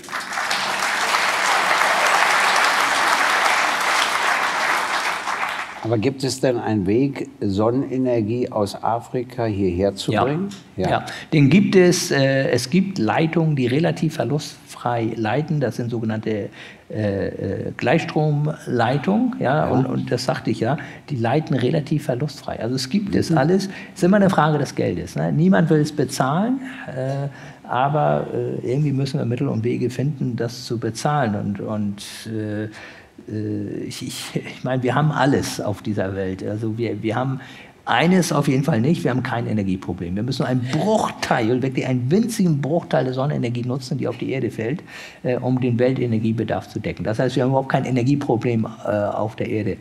Äh, wir haben auch kein Technologieproblem. Die Technologie ist schon längst entwickelt. Es ist alles möglich und wir haben auch kein Geldproblem. Geld ist genug vorhanden, aber es ist eben falsch verteilt. Ne? Das ist ja immer das große Elend. Und, äh ich will mal ein Beispiel nennen. Äh, G7 hat vor zwei Jahren, glaube ich, oder vor zweieinhalb Jahren beschlossen, von allen großen Banken und Konzernen mindestens 15 Prozent Steuern zu verlangen. Keiner der sieben Staaten hat bisher ein einziges Gesetz dazu erlassen. Das zerstört auch das Vertrauen. Du kündigst was an und machst es einfach nicht. Und wenn du dann nachfragst, kriegst du bloß blöde Antworten. Äh, nach dem Angriffskrieg Russlands gegen die Ukraine wird BRICS erweitert. Also BRICS ist Brasilien, Russland, Indien, China, Südafrika. Jetzt per 1. Januar kommen hinzu Saudi-Arabien, Iran, Argentinien, Vereinigte Arabische Emirate, Ägypten und Äthiopien. Wenn es nun zu einer neuen Blockbildung kommen sollte, hat das auch Folgen für die Bekämpfung der Klimakatastrophe und des Klimawandels? Gibt es dann ein Abschotten diesbezüglich? Ja, absolut, äh, weil viele dieser Länder, die jetzt äh, bei BRICS dabei sind, äh, blockieren ja auch äh, auf den Klimakonferenzen. Also nehmen wir mal Saudi-Arabien beispielsweise, die haben überhaupt kein Interesse äh, an, an, Klimaschutz. Die wollen ihr Öl verkaufen und sonst nichts. Ja? Und äh, deswegen glaube ich, ist es wichtig, äh, dass wir äh, ich habe das Allianz der Willigen äh, genannt, der Bundeskanzler hat es Klimaclub äh, genannt, dass einige Länder vorangehen und einen eigenen Wirtschaftsraum innerhalb gewisser Grenzen natürlich äh, entwickeln, äh, wo eben äh, Nachhaltigkeitskriterien wirklich eine wichtige Rolle spielen. Aber dieser Raum muss meiner Meinung nach auch ein bisschen abgeschottet werden, zum Beispiel gegen billige, nicht nachhaltig gefertigte Produkte. Ja? Mhm. Und da ist natürlich auch jetzt, wenn wir mal Deutschland nehmen, die deutsche Industrie gefragt. Ja? Also wir begeben uns immer mehr, gerade auch die Automobilindustrie, wir begeben uns immer mehr in Abhängigkeiten, äh, zum Beispiel äh, in, in, in China. Ja, Mercedes-Benz ist inzwischen schon komplett abhängig, glaube ich, vom chinesischen Markt. Äh, VW eigentlich auch. Und äh, das ist keine gute Entwicklung. Und ich, ich würde auch mal einen Tick weggehen vom Klima, sondern äh, ich glaube, es geht um viel mehr als ums Klima. Es geht darum, ob wir in Deutschland noch zukunftsfähig sind. Ich meine, wir haben schon einige Zukunftsmärkte verloren. Wir haben Digitalisierung verloren, wir haben künstliche Intelligenz verloren und jetzt steht die Automobilindustrie auf der Kippe weil die haben einfach geschlafen. Ja, vielleicht haben sie nicht geschlafen, das glaube ich nicht, die sind ja durchaus hell im, im Kopf, ja, aber die dachten, die können das aussitzen irgendwie und wenn es schwierig wird, dann äh, wird der Staat schon helfen. Aber ich glaube, das wird jetzt nicht mehr äh, passieren, weil äh, die, wir haben es ja gerade bei der Internationalen Automobilausstellung gesehen, äh, ich weiß nicht, ob sie noch läuft, aber hat ja vor ein paar Tagen äh, angefangen, äh, wie sehr die deutschen Automobilbauer inzwischen unter Druck sind. Und das versteht man doch auch. Ich habe mir übrigens gerade ein Elektroauto gekauft. Ne? Hat also war schweineteuer, kann ich Ihnen sagen. Und ich frage mich, wer kann sich das eigentlich leisten? Ja, solche Beträge äh, auszugeben für ein Elektroauto. Man muss doch mal fragen, warum sollen die Leute ein Elektroauto kaufen? Welchen Vorteil haben sie davon? Außer, dass sie vielleicht gute Menschen sind. Ne? Äh, ja, ich, ich meine, Laden ist echt schwierig. Ne? Erstmal erst das Geld haben, ne? das ist noch schwieriger. Ne? Äh, das heißt also, äh, wir müssen versuchen, gerade beim Klimaschutz, und das kommt uns dann auch ökonomisch äh, zu, zu, oder gereicht uns ökonomisch äh, zum Vorteil, müssen einfach versuchen, äh, die Menschen, die Bevölkerung mitzunehmen beim Klimaschutz, indem wir eben Produkte auch entwickeln und herstellen, die die Menschen auch wollen. Ja? ja und, und, in dem Moment glauben preisgünstiger als das alte preisgünstiger, gestalten. genau ja. preisgünstiger und es darf nicht passieren, dass wir äh, die, diesen Markt jetzt an die Chinesen, an die Koreaner und, und wen da abgeben, weil dann es kommt ja immer das Arbeitsplatzargument. Aber ich, ich meine, dann haben wir noch mehr Arbeitslose als vorher. Ich werde ja viel durch Deutschland gefahren und das ist ganz normal, dass mein Handy sagt, kein Netz. Ne? So, wenn du dann gerade ein Interview gibst und ausnahmsweise wollte ich mal was Schlaues sagen und weg ist die Verbindung, äh, komme ich nicht dazu, wird man also nie erfahren. Ich habe es dann ja auch vergessen. Äh, das, das ist alles nicht das Problem. Aber ich habe jetzt jemanden getroffen, der war in Uganda zwei Jahre und der hat mir gesagt, nirgendwo war die, die, Internetverbindung unterbrochen und sein Handy. Nicht in der Höhle, nicht auf dem Berg, nicht hinterm Berg, nicht vor dem Berg. Und da habe ich der Bundesregierung vorgeschlagen, Entwicklungshilfe in Uganda zu beantragen. Die werden uns doch mal erklären, wie man das so machen genau. kann, denke ich. Ne? Genau. Ja. Ich meine, da gab es ja mal ein Regierungsmitglied, ich weiß gar nicht mehr, wer es, wer es gewesen ist, ob es de Maizière gewesen ist oder wer es gewesen ist, der hat sich von seinen ausländischen Amtskollegen nicht mehr im Auto anrufen lassen, weil es war ihm zu peinlich. Ja, ja, wirklich, es war ihm zu peinlich, dass die Verbindung andauernd weg war. Ne? Und, und ich, ich, aber das ist ein gutes Beispiel mit, mit Uganda, weil ein Punkt ist, ist noch wichtig. Ne? Kommt ja dann immer die, die Sache, äh, ja, was sollen wir denn in Deutschland machen? Ne? Jetzt kommen die Chinesen und dann kommen die Afrikaner und, und so weiter und die wollen ja auch alle und, und äh, ich, ich meine, so wird's, äh, wenn die unseren Weg gehen, klar, ich meine, können wir alles vergessen. Warum sollen die unseren Weg gehen? Das macht überhaupt keinen Sinn. Gerade das Mobiltelefon, das Internet zeigt es doch. Es gibt doch so etwas wie Leapfrogging, wie wir sagen. Das heißt also Sprünge zu machen, Technologiesprünge. Warum sollen die denn das fossile Zeitalter durchmachen, das wir durchgemacht haben? Ne? Und dann auf die erneuerbaren ja. Energien umsteigen und nicht gleich auf die erneuerbaren ja, Energien. Klar. Und deswegen finde ich äh, gerade äh, das Mobiltelefon ist ein wunderbares Beispiel für solche Technologiesprünge. Ne? Die sind noch nicht so bescheuert und gehen übers Festnetz, sondern die gehen gleich äh, übers Mobiltelefon. Im Jahre 1990 ist der weltweite Ausstoß von CO2 um 60 Prozent gestiegen. Nur in Deutschland um 40 Prozent gesunken. Das wird als großer Erfolg verkauft. In Wirklichkeit war das natürlich nur die Deindustrialisierung des Ostens. Ist meine Annahme richtig, dass es seitdem wieder eine Steigerung gibt?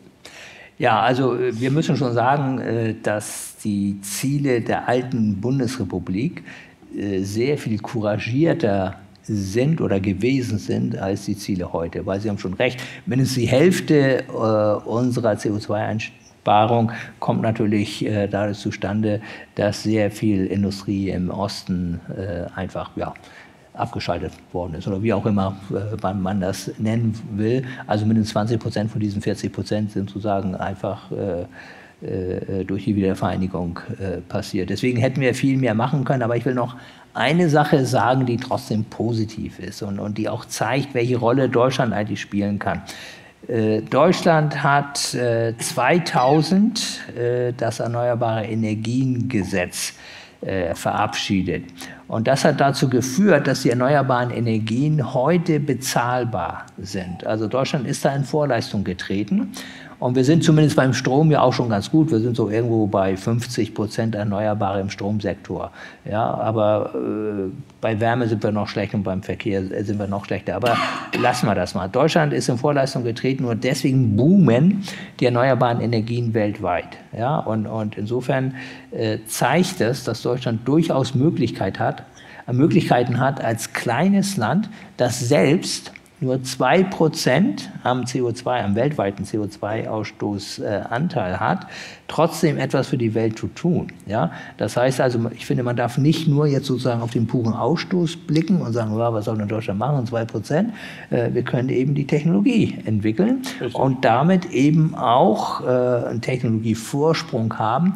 Und eins ist, denke ich, völlig klar, die nächste industrielle Revolution, die hat schon längst begonnen. Sie wird auch mit den erneuerbaren Energien zu tun haben. Gerade durch den Krieg Russlands gegen die Ukraine haben wir doch gemerkt, wie abhängig wir sind und viele andere Länder haben es auch gemerkt. Deswegen wollen die auch gerne mehr Erneuerbare haben. Und Deutschland hat den Weg geebnet. Und wenn Deutschland diesen Weg weitergeht, was meiner Meinung nach total wichtig ist, äh, dann wird Deutschland auch in der Zukunft ökonomisch die Nase vorne haben. Und das wird irgendwie viel zu wenig diskutiert. Und deswegen ist Klimaschutz meiner Meinung nach eben nicht der richtige Ausdruck, sondern ich finde Zukunftsfähigkeit den viel besseren Ausdruck. Was halten Sie, das können Sie relativ kurz machen, von den Protestaktionen der letzten Generation? Ja, nicht viel. Äh, also der, ich, ich, ich verstehe die Leute auch. Ich, ich, ich habe auch mit einigen von denen äh, lange gesprochen. Äh, ich, ich glaube, es ist kontraproduktiv in, in verschiedener Hinsicht. Auf der einen Seite äh, ich habe es ja vorhin gesagt, wir müssen ja die Menschen mitnehmen. Ja? Und so nimmt man die Menschen nicht mit. Die sind alle irgendwie äh, aufgebracht und, und genervt und, und ich sehe auch nicht, äh, was für einen Sinn das haben soll, jetzt sich da festzukleben und ich sag mal unschuldige Menschen da irgendwie zum Wahnsinn zu die treiben. Die zur Arbeit wollen. Ja, die zur Arbeit wollen. Das, das bringt meiner Meinung nach überhaupt nichts. Das ist, äh, wie gesagt, kontraproduktiv. Dadurch kann eben Klimaschutz auch so, so, so ein bisschen ins Negative rutschen. Ne? Weil ich habe es ja auch bei mir gemerkt, äh, dann kriegt man auf einmal solche Zuschriften. Ne? Und was soll denn das? Ich meine, ich habe mich nicht festgeklebt, ne? aber äh, es, es, es wird aber dann pauschalisiert einfach. Ne? All, jeder, der fürs Klima ist ne, oder für Klimaschutz ist, ne, der, der ist dann irgendwie dafür verantwortlich. Das eine und das andere, was eigentlich noch schlimmer ist, es wird über den eigentlichen Klimaschutz überhaupt nicht mehr gesprochen. Es wird nur noch über die Form des Prozesses gesprochen ja. Ja, und nicht darüber, wie kommen wir dann nun endlich weiter beim Klimaschutz. Äh, warum lieben Sie Kinderunis? Ja, bringt einfach Spaß, weil äh, die äh, fragen so Dinge, die, wird man sonst nicht gefragt. Ne? Und äh, nur ein Beispiel. Äh, ich, ich erstmal versuche ich den, den, Kindern zu erklären, wie überhaupt so Klima funktioniert und, und so weiter. Ich, ich mache die auch nicht fertig mit globaler Erwärmung, will ich gar nicht, sondern ich will ein gewisses Verständnis äh äh, für das Klima herstellen und für die Natur und, und, und, und so weiter. Am Ende komme ich dann doch ein bisschen auf die globale Erwärmung äh, und, und zu, zu, sprechen.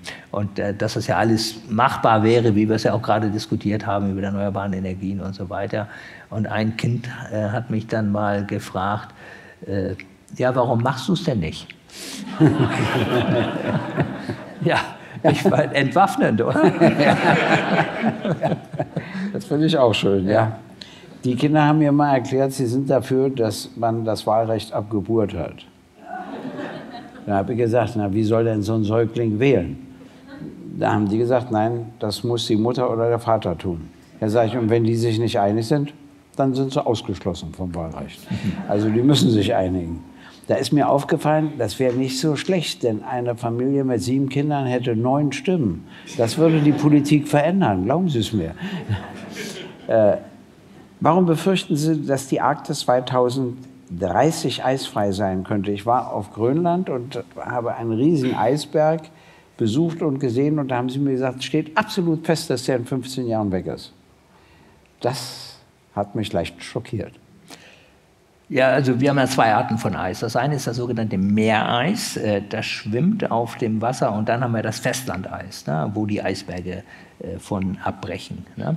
Äh, wir, also wenn wir darüber sprechen, dass die Arktis im, eisfrei ist, sprechen wir erstmal über den Sommer und nicht über den Winter. Im Winter ist es so verdammt kalt, ja, äh, da spielen dann ein paar Grad Erderwärmung auch keine Rolle. Da bildet sich immer neues Eis. Ob das nun minus 30 oder minus 27 ist, das ist äh, völlig irrelevant. Das heißt, wenn wir über eine eisfreie Arktis sprechen, sprechen wir über das Meereis, nicht über Grönland, das Grönlandeis, ja, und wir sprechen über den Sommer. Äh, über den was? Über den Sommer. Hm. Ne? Und nur über den ja. Sommer, nicht über den Winter. Meine große Sorge ist, abgesehen davon, dass natürlich auch ein äh, Ökosystem davon betroffen ist. Das arktische Ökosystem ist ja sehr, sehr vulnerabel, also sehr empfindlich. Ja, und und äh, äh wir reden oft über den Eisbären. Wenn kein Eis da ist, wie soll er jagen und, und, und so weiter. Ne? Aber da gibt es da ganz viele andere Lebewesen, die eben dort auch leben wollen und die von der Existenz des Eises abhängig sind. Das heißt also, da steht wirklich ein gigantisches Ökosystem auf dem Spiel. Äh, aber meine große Sorge ist dann eben auch in dem Moment, und das fängt jetzt schon an, ja, wo das Eis nicht mehr da ist, na, dann äh, fahren dann noch mehr Schiffe, weil die Route, die Polroute, also die, die äh, sogenannte Nordostpassage, ja, die, die ist ja viel kürzer als äh, die Passage äh, südlich rum. Das heißt also, der äh, Weg für die Schiffe wäre sehr viel kürzer. Ja. Und äh, das würde dann wahrscheinlich nochmal den, den Schiffsverkehr erhöhen. Dadurch würden noch mehr Schadstoffe in die Atmosphäre kommen, mehr Ruß. Dieser Ruß würde sich auf das Eis legen. Dadurch würde sich das Eis, jetzt auch das Grönlandeis, noch schneller erwärmen, weil das absorbiert ja das Sonnenlicht noch stärker. Ja? Und äh, äh, das wäre keine gute Entwicklung. Und deswegen wäre es meiner Meinung nach so wichtig, äh, doch ein bisschen Eis da noch zu lassen, damit da nicht Hunderte oder Tausende von Schiffen immer durchfahren mhm. äh, und dann auch noch andere Schäden anrichten, außer das Klima zu beeinflussen. Dann stellen wir beide künstliches Eis her und versperren den Zugang. Hm? Weil das Kind gefragt hat, warum wir beide Ja, warum wir es nicht tun. Es bezog sich auf die erneuerbaren Energien. Aber ich, ich finde, das ist genau die Frage, die man ja. stellen muss. Ja. Warum tun wir es nicht? Ja, ne? richtig, richtig. Äh, und äh, nochmal äh, zu, zum Eis. Äh, das Festlandeis, äh, das trägt ja auch zum Meeresspiegelanstieg bei. Und äh, wir reden hier wirklich über eine große Zeitverzögerung. Also die Erwärmung selbst an der Oberfläche, die hat keine große Verzögerung. Das heißt also, da reden wir über ein paar Jahre, also wenn das CO2 hochgeht, dauert ein paar Jahre, bis es an der Oberfläche warm wird. Ne? Aber beim Meeresspiegel reden wir über Zeitverzögerungen von Jahrzehnten bis Jahrhunderten. Das heißt, was wir heute tun, kann schon Auswirkungen dann haben im, im, Jahr 2300, im Jahr 2400 und dann eben Auswirkungen in der Art, dass wir über mehrere Meter Meeresspiegelanstieg sprechen. Im Moment sprechen wir über Zentimeter, über Dezimeter Meeresspiegelanstieg, ja, aber dann sprechen wir über Meter Meeresspiegelanstieg mhm. und das ist dann natürlich eine Hinterlassenschaft, äh, die wir den nachfolgenden Generationen dann vererben, äh, mit der sie, äh, mit denen sie dann wahrscheinlich nur nur sehr schwer umgehen können. Sie haben zahlreiche Bücher geschrieben und veröffentlicht. Ganz bestimmt werden diese Bücher von Wissenschaftlerinnen und Wissenschaftlern gelesen, die ihre Meinung teilen oder nicht teilen. Ganz bestimmt lesen, das haben wir mitbekommen, Klimainteressierte ihre Bücher, die sich in jeder Hinsicht durch sie bestätigt sehen. Ganz bestimmt quälen sich die Klimaleugnerinnen und Leugner durch ihre Bücher, um etwas Widerlegbares zu finden. Meine Frage lautet, wie erreicht man die Unwissenden und die wenig Interessierten? Über Rundfunk, über Fernsehen oder wie kann das laufen? Ich glaube, wir Menschen sind Egoisten. Und deswegen. Äh, Davon habe ich noch nie gehört. deswegen wird es meiner Meinung nach nicht über Aufklärung passieren, sondern äh, es wird passieren, wenn die Menschen profitieren können. Wenn wir Maßnahmen hm. Äh, treffen, von denen die Menschen profitieren. Ich will nur ein Beispiel nennen und es wäre so gut gewesen, hätte die Bundesregierung das gemacht. Eigentlich geplant war es wohl, äh, so eine Art Klimageld oder Klimaprämie oder was auch immer, wie man das nennen will. Also jeder von uns kriegt also zu Beginn des Jahres, weiß ich nicht, 1000 Euro, keine Ahnung, wie viel da angedacht worden ist. Äh, und dann hat man selbst so ein bisschen in der Hand, ob man am Ende des Jahres übrig hat oder nicht. Ne? Äh, also äh, wenn zum Beispiel, ich meine, wir haben ja auch eine CO2-Steuer, dadurch werden ja auch bestimmte Dinge teurer und, und so weiter. Das heißt, also ich glaube, wir brauchen die, diese Anreize. Ne? Das ist so, ein bisschen Spieltrieb irgendwo. Ne? Dem Moment, wo die Menschen profitieren können, dann, dann wollen sie es auch. Und, und man hört immer so viel, dass die Menschen gegen Windkraft sind und so weiter. Aber ich habe schon so viele Windkraftanlagen eingeweiht, wo die Menschen gefeiert haben, tagelang gefeiert haben. Ja? Warum? Weil sie beteiligt sind oder weil sie vielleicht selbst äh, das Geld einnehmen und Klar. nicht irgendwelche fernen Konzerne. Äh, und, und dann, äh, der Bundeskanzler hat ja gerade äh, in, in, Westdeutschland eine Gemeinde besucht, ne? so eine Vorzeigegemeinde, wo es eben so einen Bürgerwindpark gibt. Ne? Die haben ihre Gewerbesteuer gesenkt, die haben ihre Grundsteuer gesenkt. Ne? Äh, und, und dann, glaube ich, wird ein Schuh draus, ne? weil also dann beide profitieren. Ich, ich, stimme Ihnen da voll zu. Ich finde, bei den Freihandelsabkommen machen wir immer Folgendes. Mit einem afrikanischen Land machen wir ein Freihandelsabkommen. Das heißt, wir können alles zollfrei hinliefern. Die dürfen auch alles zu uns zollfrei liefern. Haben natürlich wesentlich weniger. Nur eins nicht. Keine Lebensmittel. Also das Einzige, was sie wirklich haben, dürfen sie nicht an uns zollfrei liefern, wenn wir sagen, das stört unsere Landwirtschaft. So, damit verbaust du schon. Ja, ich verstehe ja auch den Schutz der Landwirtschaft, aber es ist trotzdem interessant, wie wir da wirklich eben verbauen. Und ich finde auch, wenn man Solarenergie kann man so attraktiv gestalten, andere Formen der Energieversorgung auch. Also statt diesen Weg zu gehen, Sie haben recht, allein mit Überzeugung lässt sich das nicht machen. Ich hatte als Gast die Journalistin Ulrike Herrmann. Sie meint, die Wirtschaft müsste um 25 Prozent schrumpfen. Das klingt natürlich erstmal furchtbar. Was aber dem Kapitalismus widerspricht, der permanent die Wirtschaftssteigerung verlangt. Deshalb müsse man den Kapitalismus überwinden. Also sie kommt gar nicht wie eine Linke oder ein Linker darauf, sondern sie kommt aus einer völlig anderen Sicht darauf und meint, die Strukturen in der Wirtschaft müssen verändert werden. Ist da was dran? Ja, nach drei Semestern äh, Wirtschaftswissenschaften fühle ich mich da ehrlich nicht so berufen, äh, fundiert darüber Auskunft zu geben. Aber ich denke, äh, sie hat insofern recht, äh, als dass unser Wirtschaftssystem äh, äh, nicht vernünftig ist in dem Sinne, dass Umweltzerstörung belohnt wird, weil so ist unser Wirtschaftssystem. Unser Wirtschaftssystem belohnt Umweltzerstörung, weil Umweltzerstörung meistens nichts kostet. Ja? Und derjenige, äh, der dann sozusagen die Umwelt zerstört, hat einen Vorteil gegenüber demjenigen, der eben die Umwelt schützt ja. Oder weniger stark äh, belastet. Und deswegen habe ich mal in einem meiner Bücher geschrieben, was natürlich jeder Wirtschaftswissenschaftler wird natürlich sagen, der hat den Knall und das ist das Schwachsinn, was der da sagt.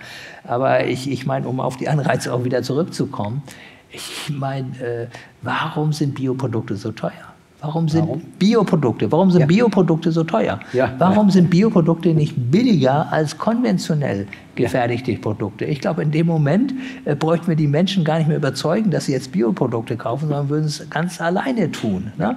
Und, und das meine ich einfach damit. Äh, ja, und ich kann von einer Hartz äh, ja. IV-Empfängerin oder jetzt Bürgergeldempfängerin genau. das nicht kann man nicht verlangen. Erwarten, ja? und, und insofern subventionieren wir systematisch Umweltzerstörung. Und das geht eben nicht. Und das, das da müssen wir ansetzen. Aber sie meinte auch, dass das Ziel.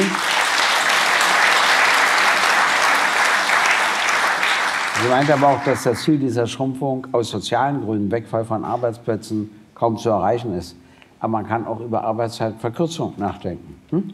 Es ja. müssen ja nicht die einen tote Zeit haben und nee, die andere kommen aus dem Mobbing und Stress gar nicht raus. Dieses Arbeitsplatzargument teile ich nicht. Äh, wenn wir uns nicht bewegen, das habe ich vorhin schon ja. gesagt, äh, Beispiel Automobilindustrie, wenn wir uns nicht bewegen, ist irgendwann die Automobilindustrie ganz weg.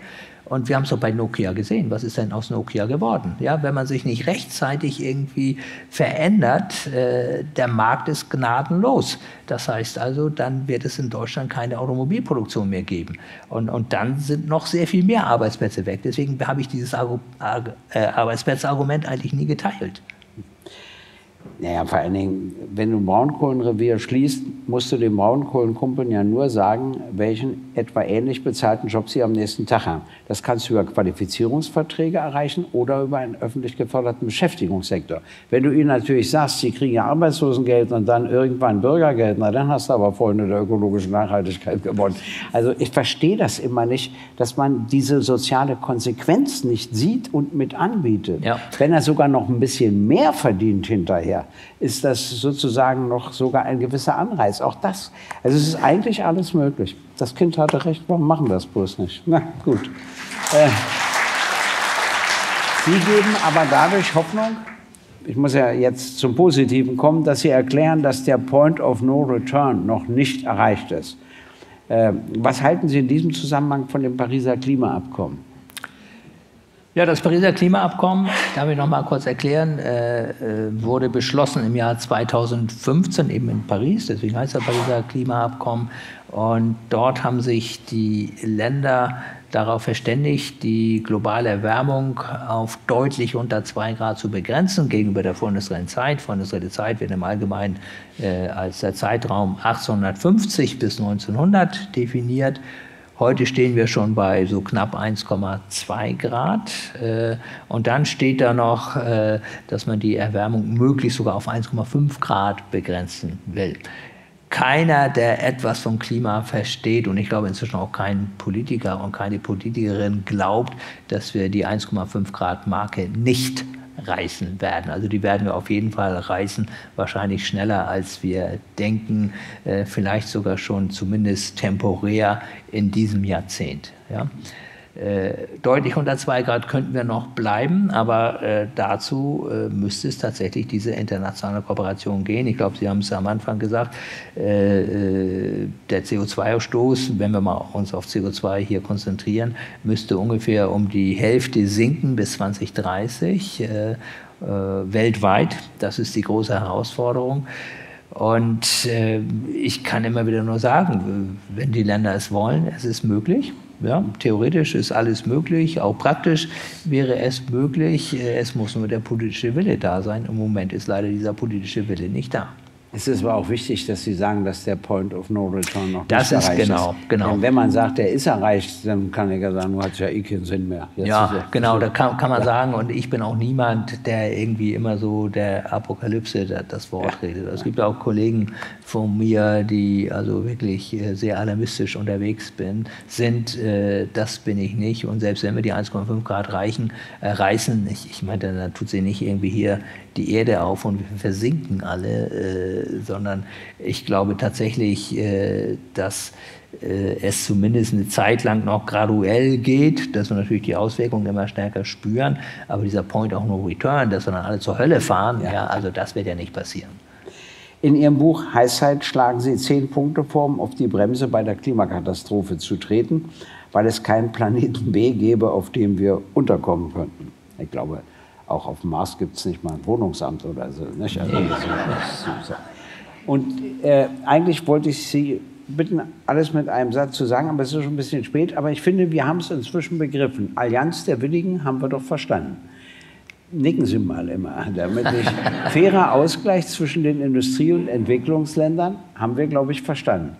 Abbau, Abbau klimaschädlicher Subventionen und CO2-Bepreisungen haben wir verstanden. Massiver Ausbau erneuerbarer Energien und das Ganze muss sich lohnen, haben wir auch verstanden. Geldströme in nachhaltige Investments lenken, das heißt zum Beispiel in erneuerbare Energien etc., haben wir, glaube ich, auch verstanden industrielle Nutzung von CO2 aus der Luft. Das heißt, da soll man CO2 verbrauchen, damit das aus der Luft abgebaut wird. Ich will das mal an einem Beispiel Das habe ich nicht verstanden. Nee, genau, Ja. wunderbar. Wir sind Äh, erst Kann ich bei Ihnen auch was erklären? Ja. Äh, Wir hatten ja jetzt in den letzten Monaten äh, diesen Streit um den Verbrenner, also um das Verbrennerauto, den Verbrennermotor. Ja? Und dann kam ja die FDP mit den synthetischen Kraftstoffen. Ja? Äh, und ich will mal erklären, wie die synthetischen Kraftstoffe funktionieren. Für die synthetischen Kraftstoffe brauchen Sie zwei Dinge: CO2 und Wasser. Mehr brauchen Sie nicht. Ja? Und Energie, klar, aber die haben wir ja eigentlich. CO2 nehmen sie aus der Luft, ja, Wasser kriegen sie auch irgendwo her, ja, und dann können sie tatsächlich so synthetischen Kraftstoff herstellen, den sie dann verbrennen, äh, und dann kommt wieder CO2 raus, aber was wir wieder rausholen, ja, bei der Herstellung der synthetischen Kraftstoffe sind sie dann tatsächlich CO2-neutral. Ne? Das meine ich damit. Ich sage jetzt aber nicht, wir sollten unsere Autos mit synthetischen Kraftstoffen äh, betreiben, weil das wäre der absolute Wahnsinn, weil die sind so teuer in der Herstellung ja, und brauchen so viel Energie, so viel grüne, saubere Energie, äh, dass man diese synthetischen Kraftstoffe nur nutzen sollte, zum Beispiel für Flugzeuge, wo nichts anderes geht, wo sie nicht elektrisch betreiben können. Ja? Oder für Schiffe beispielsweise, wo sie auch nicht mit dem Elektromotor irgendwie weit kommen. Ne? Äh, aber das Beispiel synthetische Kraftstoffe ist eben genau so ein Punkt hier, äh, der das meint. Was ich eben äh, sagen will, ist, äh, wir haben so viel CO2 in der Luft. Und wir sollten es als Rohstoff begreifen, es nutzen. Ja? Dadurch könnten wir eben doch äh, Und schafft man das Fortschritt denn, ohne machen. wieder CO2 dadurch Nee, auszustoßen? dadurch kommt CO2 raus, aber trotzdem könnte man ja tatsächlich äh, dann klima- oder CO2-neutral fliegen. Das ist immer schon mal ein Fortschritt, als sozusagen Ja. noch extra was reintun. Aber richtig. es gibt auch noch eine andere Möglichkeit, das wäre die einfachste Möglichkeit, äh, Bäume pflanzen. Ganz einfach. Das, das, das wird nicht ausreichen, weil die Flächen haben wir natürlich auch nicht dafür. Aber immerhin, ich meine, dieses eine, äh, diese eine Maßnahme, die glückselig macht, die gibt es so und so nicht. Sondern wir brauchen ein ganzes Bündel von Maßnahmen und Bäume pflanzen ist natürlich auch so eine Maßnahme. Ne? Was meinen Sie mit siebtens Kreislaufwirtschaft? Meinen Sie die Wiederverwendung? Ja, das, das meine ich. Und zwar äh, gehen wir nochmal zurück zu äh, äh, Club of Rome, die Grenzen des Wachstums. Da ging es ja um die Ressourcen der Ja. Erde. Also wir äh, wachsen ja auf Kosten der Ressourcen der Erde, das heißt also der Schätze der Erde. Und das kann ja nicht gut gehen. Irgendwann ist ja nichts mehr da. Das heißt also, wir müssen versuchen, so viel wie möglich wieder zu verwerten, also in Recycling zu gehen. Ja? Und in dem Zusammenhang finde ich einen Punkt auch ganz wichtig. Äh, äh, wir produzieren so viele Dinge, die brauchen wir doch gar nicht. Ne? Warum lassen wir das denn nicht? Es geht doch hier auch um Verschwendung. Nehmen wir mal Lebensmittel. Wir schmeißen ein Drittel aller Lebensmittel weg, die produziert werden. Hat denn das was mit Wohlstand zu tun? Das ist nur dumm. Ja? Oder wer von Ihnen bitte mal den Arm heben. Und alles, was einmal auf dem Buffet war und nicht gegessen ja, wird, ge- muss genau. weggeworfen Das, das werden. ja? Oder wer Ja, von Ihnen braucht denn ein Wirklich. Salzstreuer mit Licht? Ich, warum produzieren wir solche Dinge? Ja, das braucht doch kein Mensch. Also ich finde, äh, wir müssen, es geht hier doch nicht um, um Wohlstandsverzicht oder sonst was, sondern zurück irgendwie äh, in die Steinzeit, sondern es geht doch hier nur um Vernunft. Wissen Sie, was interessant ist? Die DDR, natürlich nicht aus ökologischen Gründen, aus rein ökonomischen Gründen, war eine Behaltegesellschaft. Die alte Bundesrepublik war eine Wegwerfgesellschaft. Ja, ja. Das ändert sich jetzt. Und das haben sie sich eben nicht angesehen bei der Herstellung der Einheit, weil das wirklich ganz interessant war, will ich jetzt aber nicht im Einzelnen erläutern. Aber es wurde versucht, alles irgendwie wieder zu verwenden. Und äh, dann kommt zufällig was Ökologisches dabei heraus, wenn das Motiv auch ein anderes war.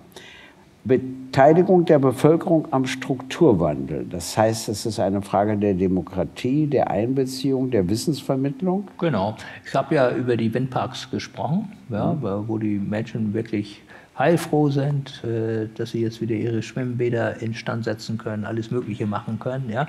Äh, Ich meine, sie können doch nicht erwarten, äh, dass die Menschen vor Ort alle Nachteile haben und irgendwelche Konzerne sacken das alles ein, das Geld. Ne? Das, das, das geht nicht. Und das ist ja bei, bei, vielen Dingen einfach so, da, da, dass die Nachteile sozusagen immer bei den Leuten vor Ort bleiben. Ne? Und, und die Vorteile, die hat dann immer sonst irgendwer. Neuntens haben wir verstanden, zielführende Klimakommunikation, ganz wichtig. Zehntens Druck aus der Zivilgesellschaft, da meinen Sie nicht ankleben, sondern anderen Druck, haben wir auch verstanden. Spielen Frieden und die soziale Frage beim Erfolg Ihrer Vorschläge, Vorschläge nicht auch eine herausragende Rolle? Ja, spielen eine ganz wichtige Rolle. Gerade äh, Frieden ist, ist meiner Meinung nach die, die Voraussetzung äh, auch für äh, demokratische Verhältnisse zum Beispiel. Ich meine, wir hatten ja zwei äh, deutsche Staaten. Ne? Und da haben wir es auch ganz klar gesehen, äh, welcher Staat hat sich um Umweltschutz bemüht, zumindest und welcher nicht. Ne? Und äh, da hat man eben gesehen, dass das demokratische System, glaube ich, schon dem autokratischen System überlegen ist, auch beim Umweltschutz, in vielen anderen Dingen natürlich auch. Und äh, das ist, glaube ich, unabdenkbar. Und deswegen sehe ich einfach auch äh, mit großer Sorge äh, die weltpolitische Entwicklung, dass einfach Ach. immer mehr Autokraten an die Oberfläche gespült werden. Es geht alles nach rechts, es wird alles immer nationalistischer. Genau, alles, so, so ist es, alles nationalistischer, ja. obwohl es ja genau in die andere Richtung gehen richtig, müsste. Richtig, Das ist immer typisch. Nach der Reformation gab es ja die Gegenreformation, auch interessant. Und äh, was wir jetzt erleben, ist eine Angst der Menschen vor der Globalisierung, was die Nationalisten und Rechtsextremisten ausnutzen. Diese Angst, weil sie vorgaukeln, dass man das alles national lösen könnte, was natürlich Quark ist. Aber es ist nicht ohne Erfolg. Ich habe mal noch eine Frage an Sie. Sie sind ja Meeresozeanforscher. Es gibt doch Tiefen, die wir noch nicht erreicht haben. Äh, kann man sagen, dass wir über die Ozeane, über die Meere viel weniger wissen als das, was an Wissen möglich wäre. Dass da also noch eine ganz breite Erkenntnispalette vor uns liegt. Ja, also äh, die Tiefsee ist weitgehend unerforscht. Und wir sind immer wieder überrascht, was man da findet. Also ja, ja. vor einem Jahr ungefähr hat man, äh, was man nie für möglich gehalten hätte, Fische, ich glaube, in 8000 Meter Tiefe gefunden. In 8000 Meter Tiefe. Man denkt immer, da kann doch nichts existieren. Muss ja mal den Druck vorstellen. Ne? In 8000 Meter Tiefe. Und trotzdem hat man da äh, Fische gefunden. Äh, und äh, man, man, äh, findet eigentlich immer äh, kontinuierlich äh, neue Lebewesen in, in, in diesen Tiefen. Und, äh, ich habe gelesen, in einem Jahr über 200 neue Lebewesen entdeckt, die wir vorher nicht kannten. Ja. Das hielt ich auch gar nicht für möglich, ehrlich ja. gesagt. Genau, also das ist wirklich äh, Terra Incognita, wie man so schön sagt. Ne? Also unbekanntes, unerforschtes Land, äh, die Tiefsee. Und äh, in der Wissenschaft sagt man hin und wieder the last frontier, ne? sozusagen die letzte Herausforderung, äh, das auch noch zu entdecken. Sie sind mit einer Norwegerin verheiratet. Ist das eine Christin oder ist die so wenig religiös wie Sie? Die ist genauso religi wenig religiös wie ich. Also dort sind nicht Widersprüche durch mich zu schlichten? Nein, ganz Nein, und gar gut, nicht. Wunderbar. Äh, was treiben Sie in Ihrer Freizeit? Ja, wenn ich denn Freizeit habe, ja. äh, fahre ich gerne Fahrrad.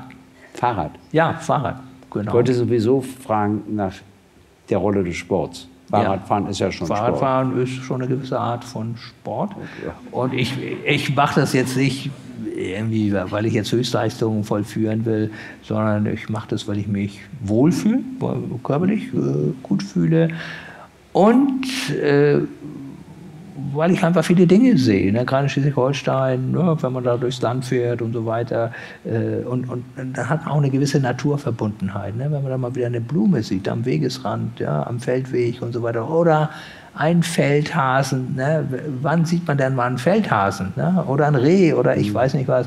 Ist doch sensationell. Also ich glaube, da müssen wir auch mal wieder anfangen, äh, da, dass wir äh, die wunderbare Natur entdecken und wie wunderbar eigentlich die Natur ist. Und ich glaube, nur das, was man liebt, das schützt man auch. Stimmt. Mein Vater hat mir immer gesagt, ein Hase bleibt sitzen, wenn man ihm Salz auf den Schwanz streut. Und ich habe dem Blödsinn natürlich auch geglaubt als Kind und hatte dann immer ein bisschen Salz mit für den Fall. Ist mir aber nie gelungen. Äh, schwimmen Sie gerne? Nee. Wandern Sie gerne? Nö, auch, auch nicht. Also ich gehe gerne spazieren, aber wandern kann man das nicht nennen. Gut. Und wenn wir mal beim Wasser sind, äh, das ist mir zu kalt.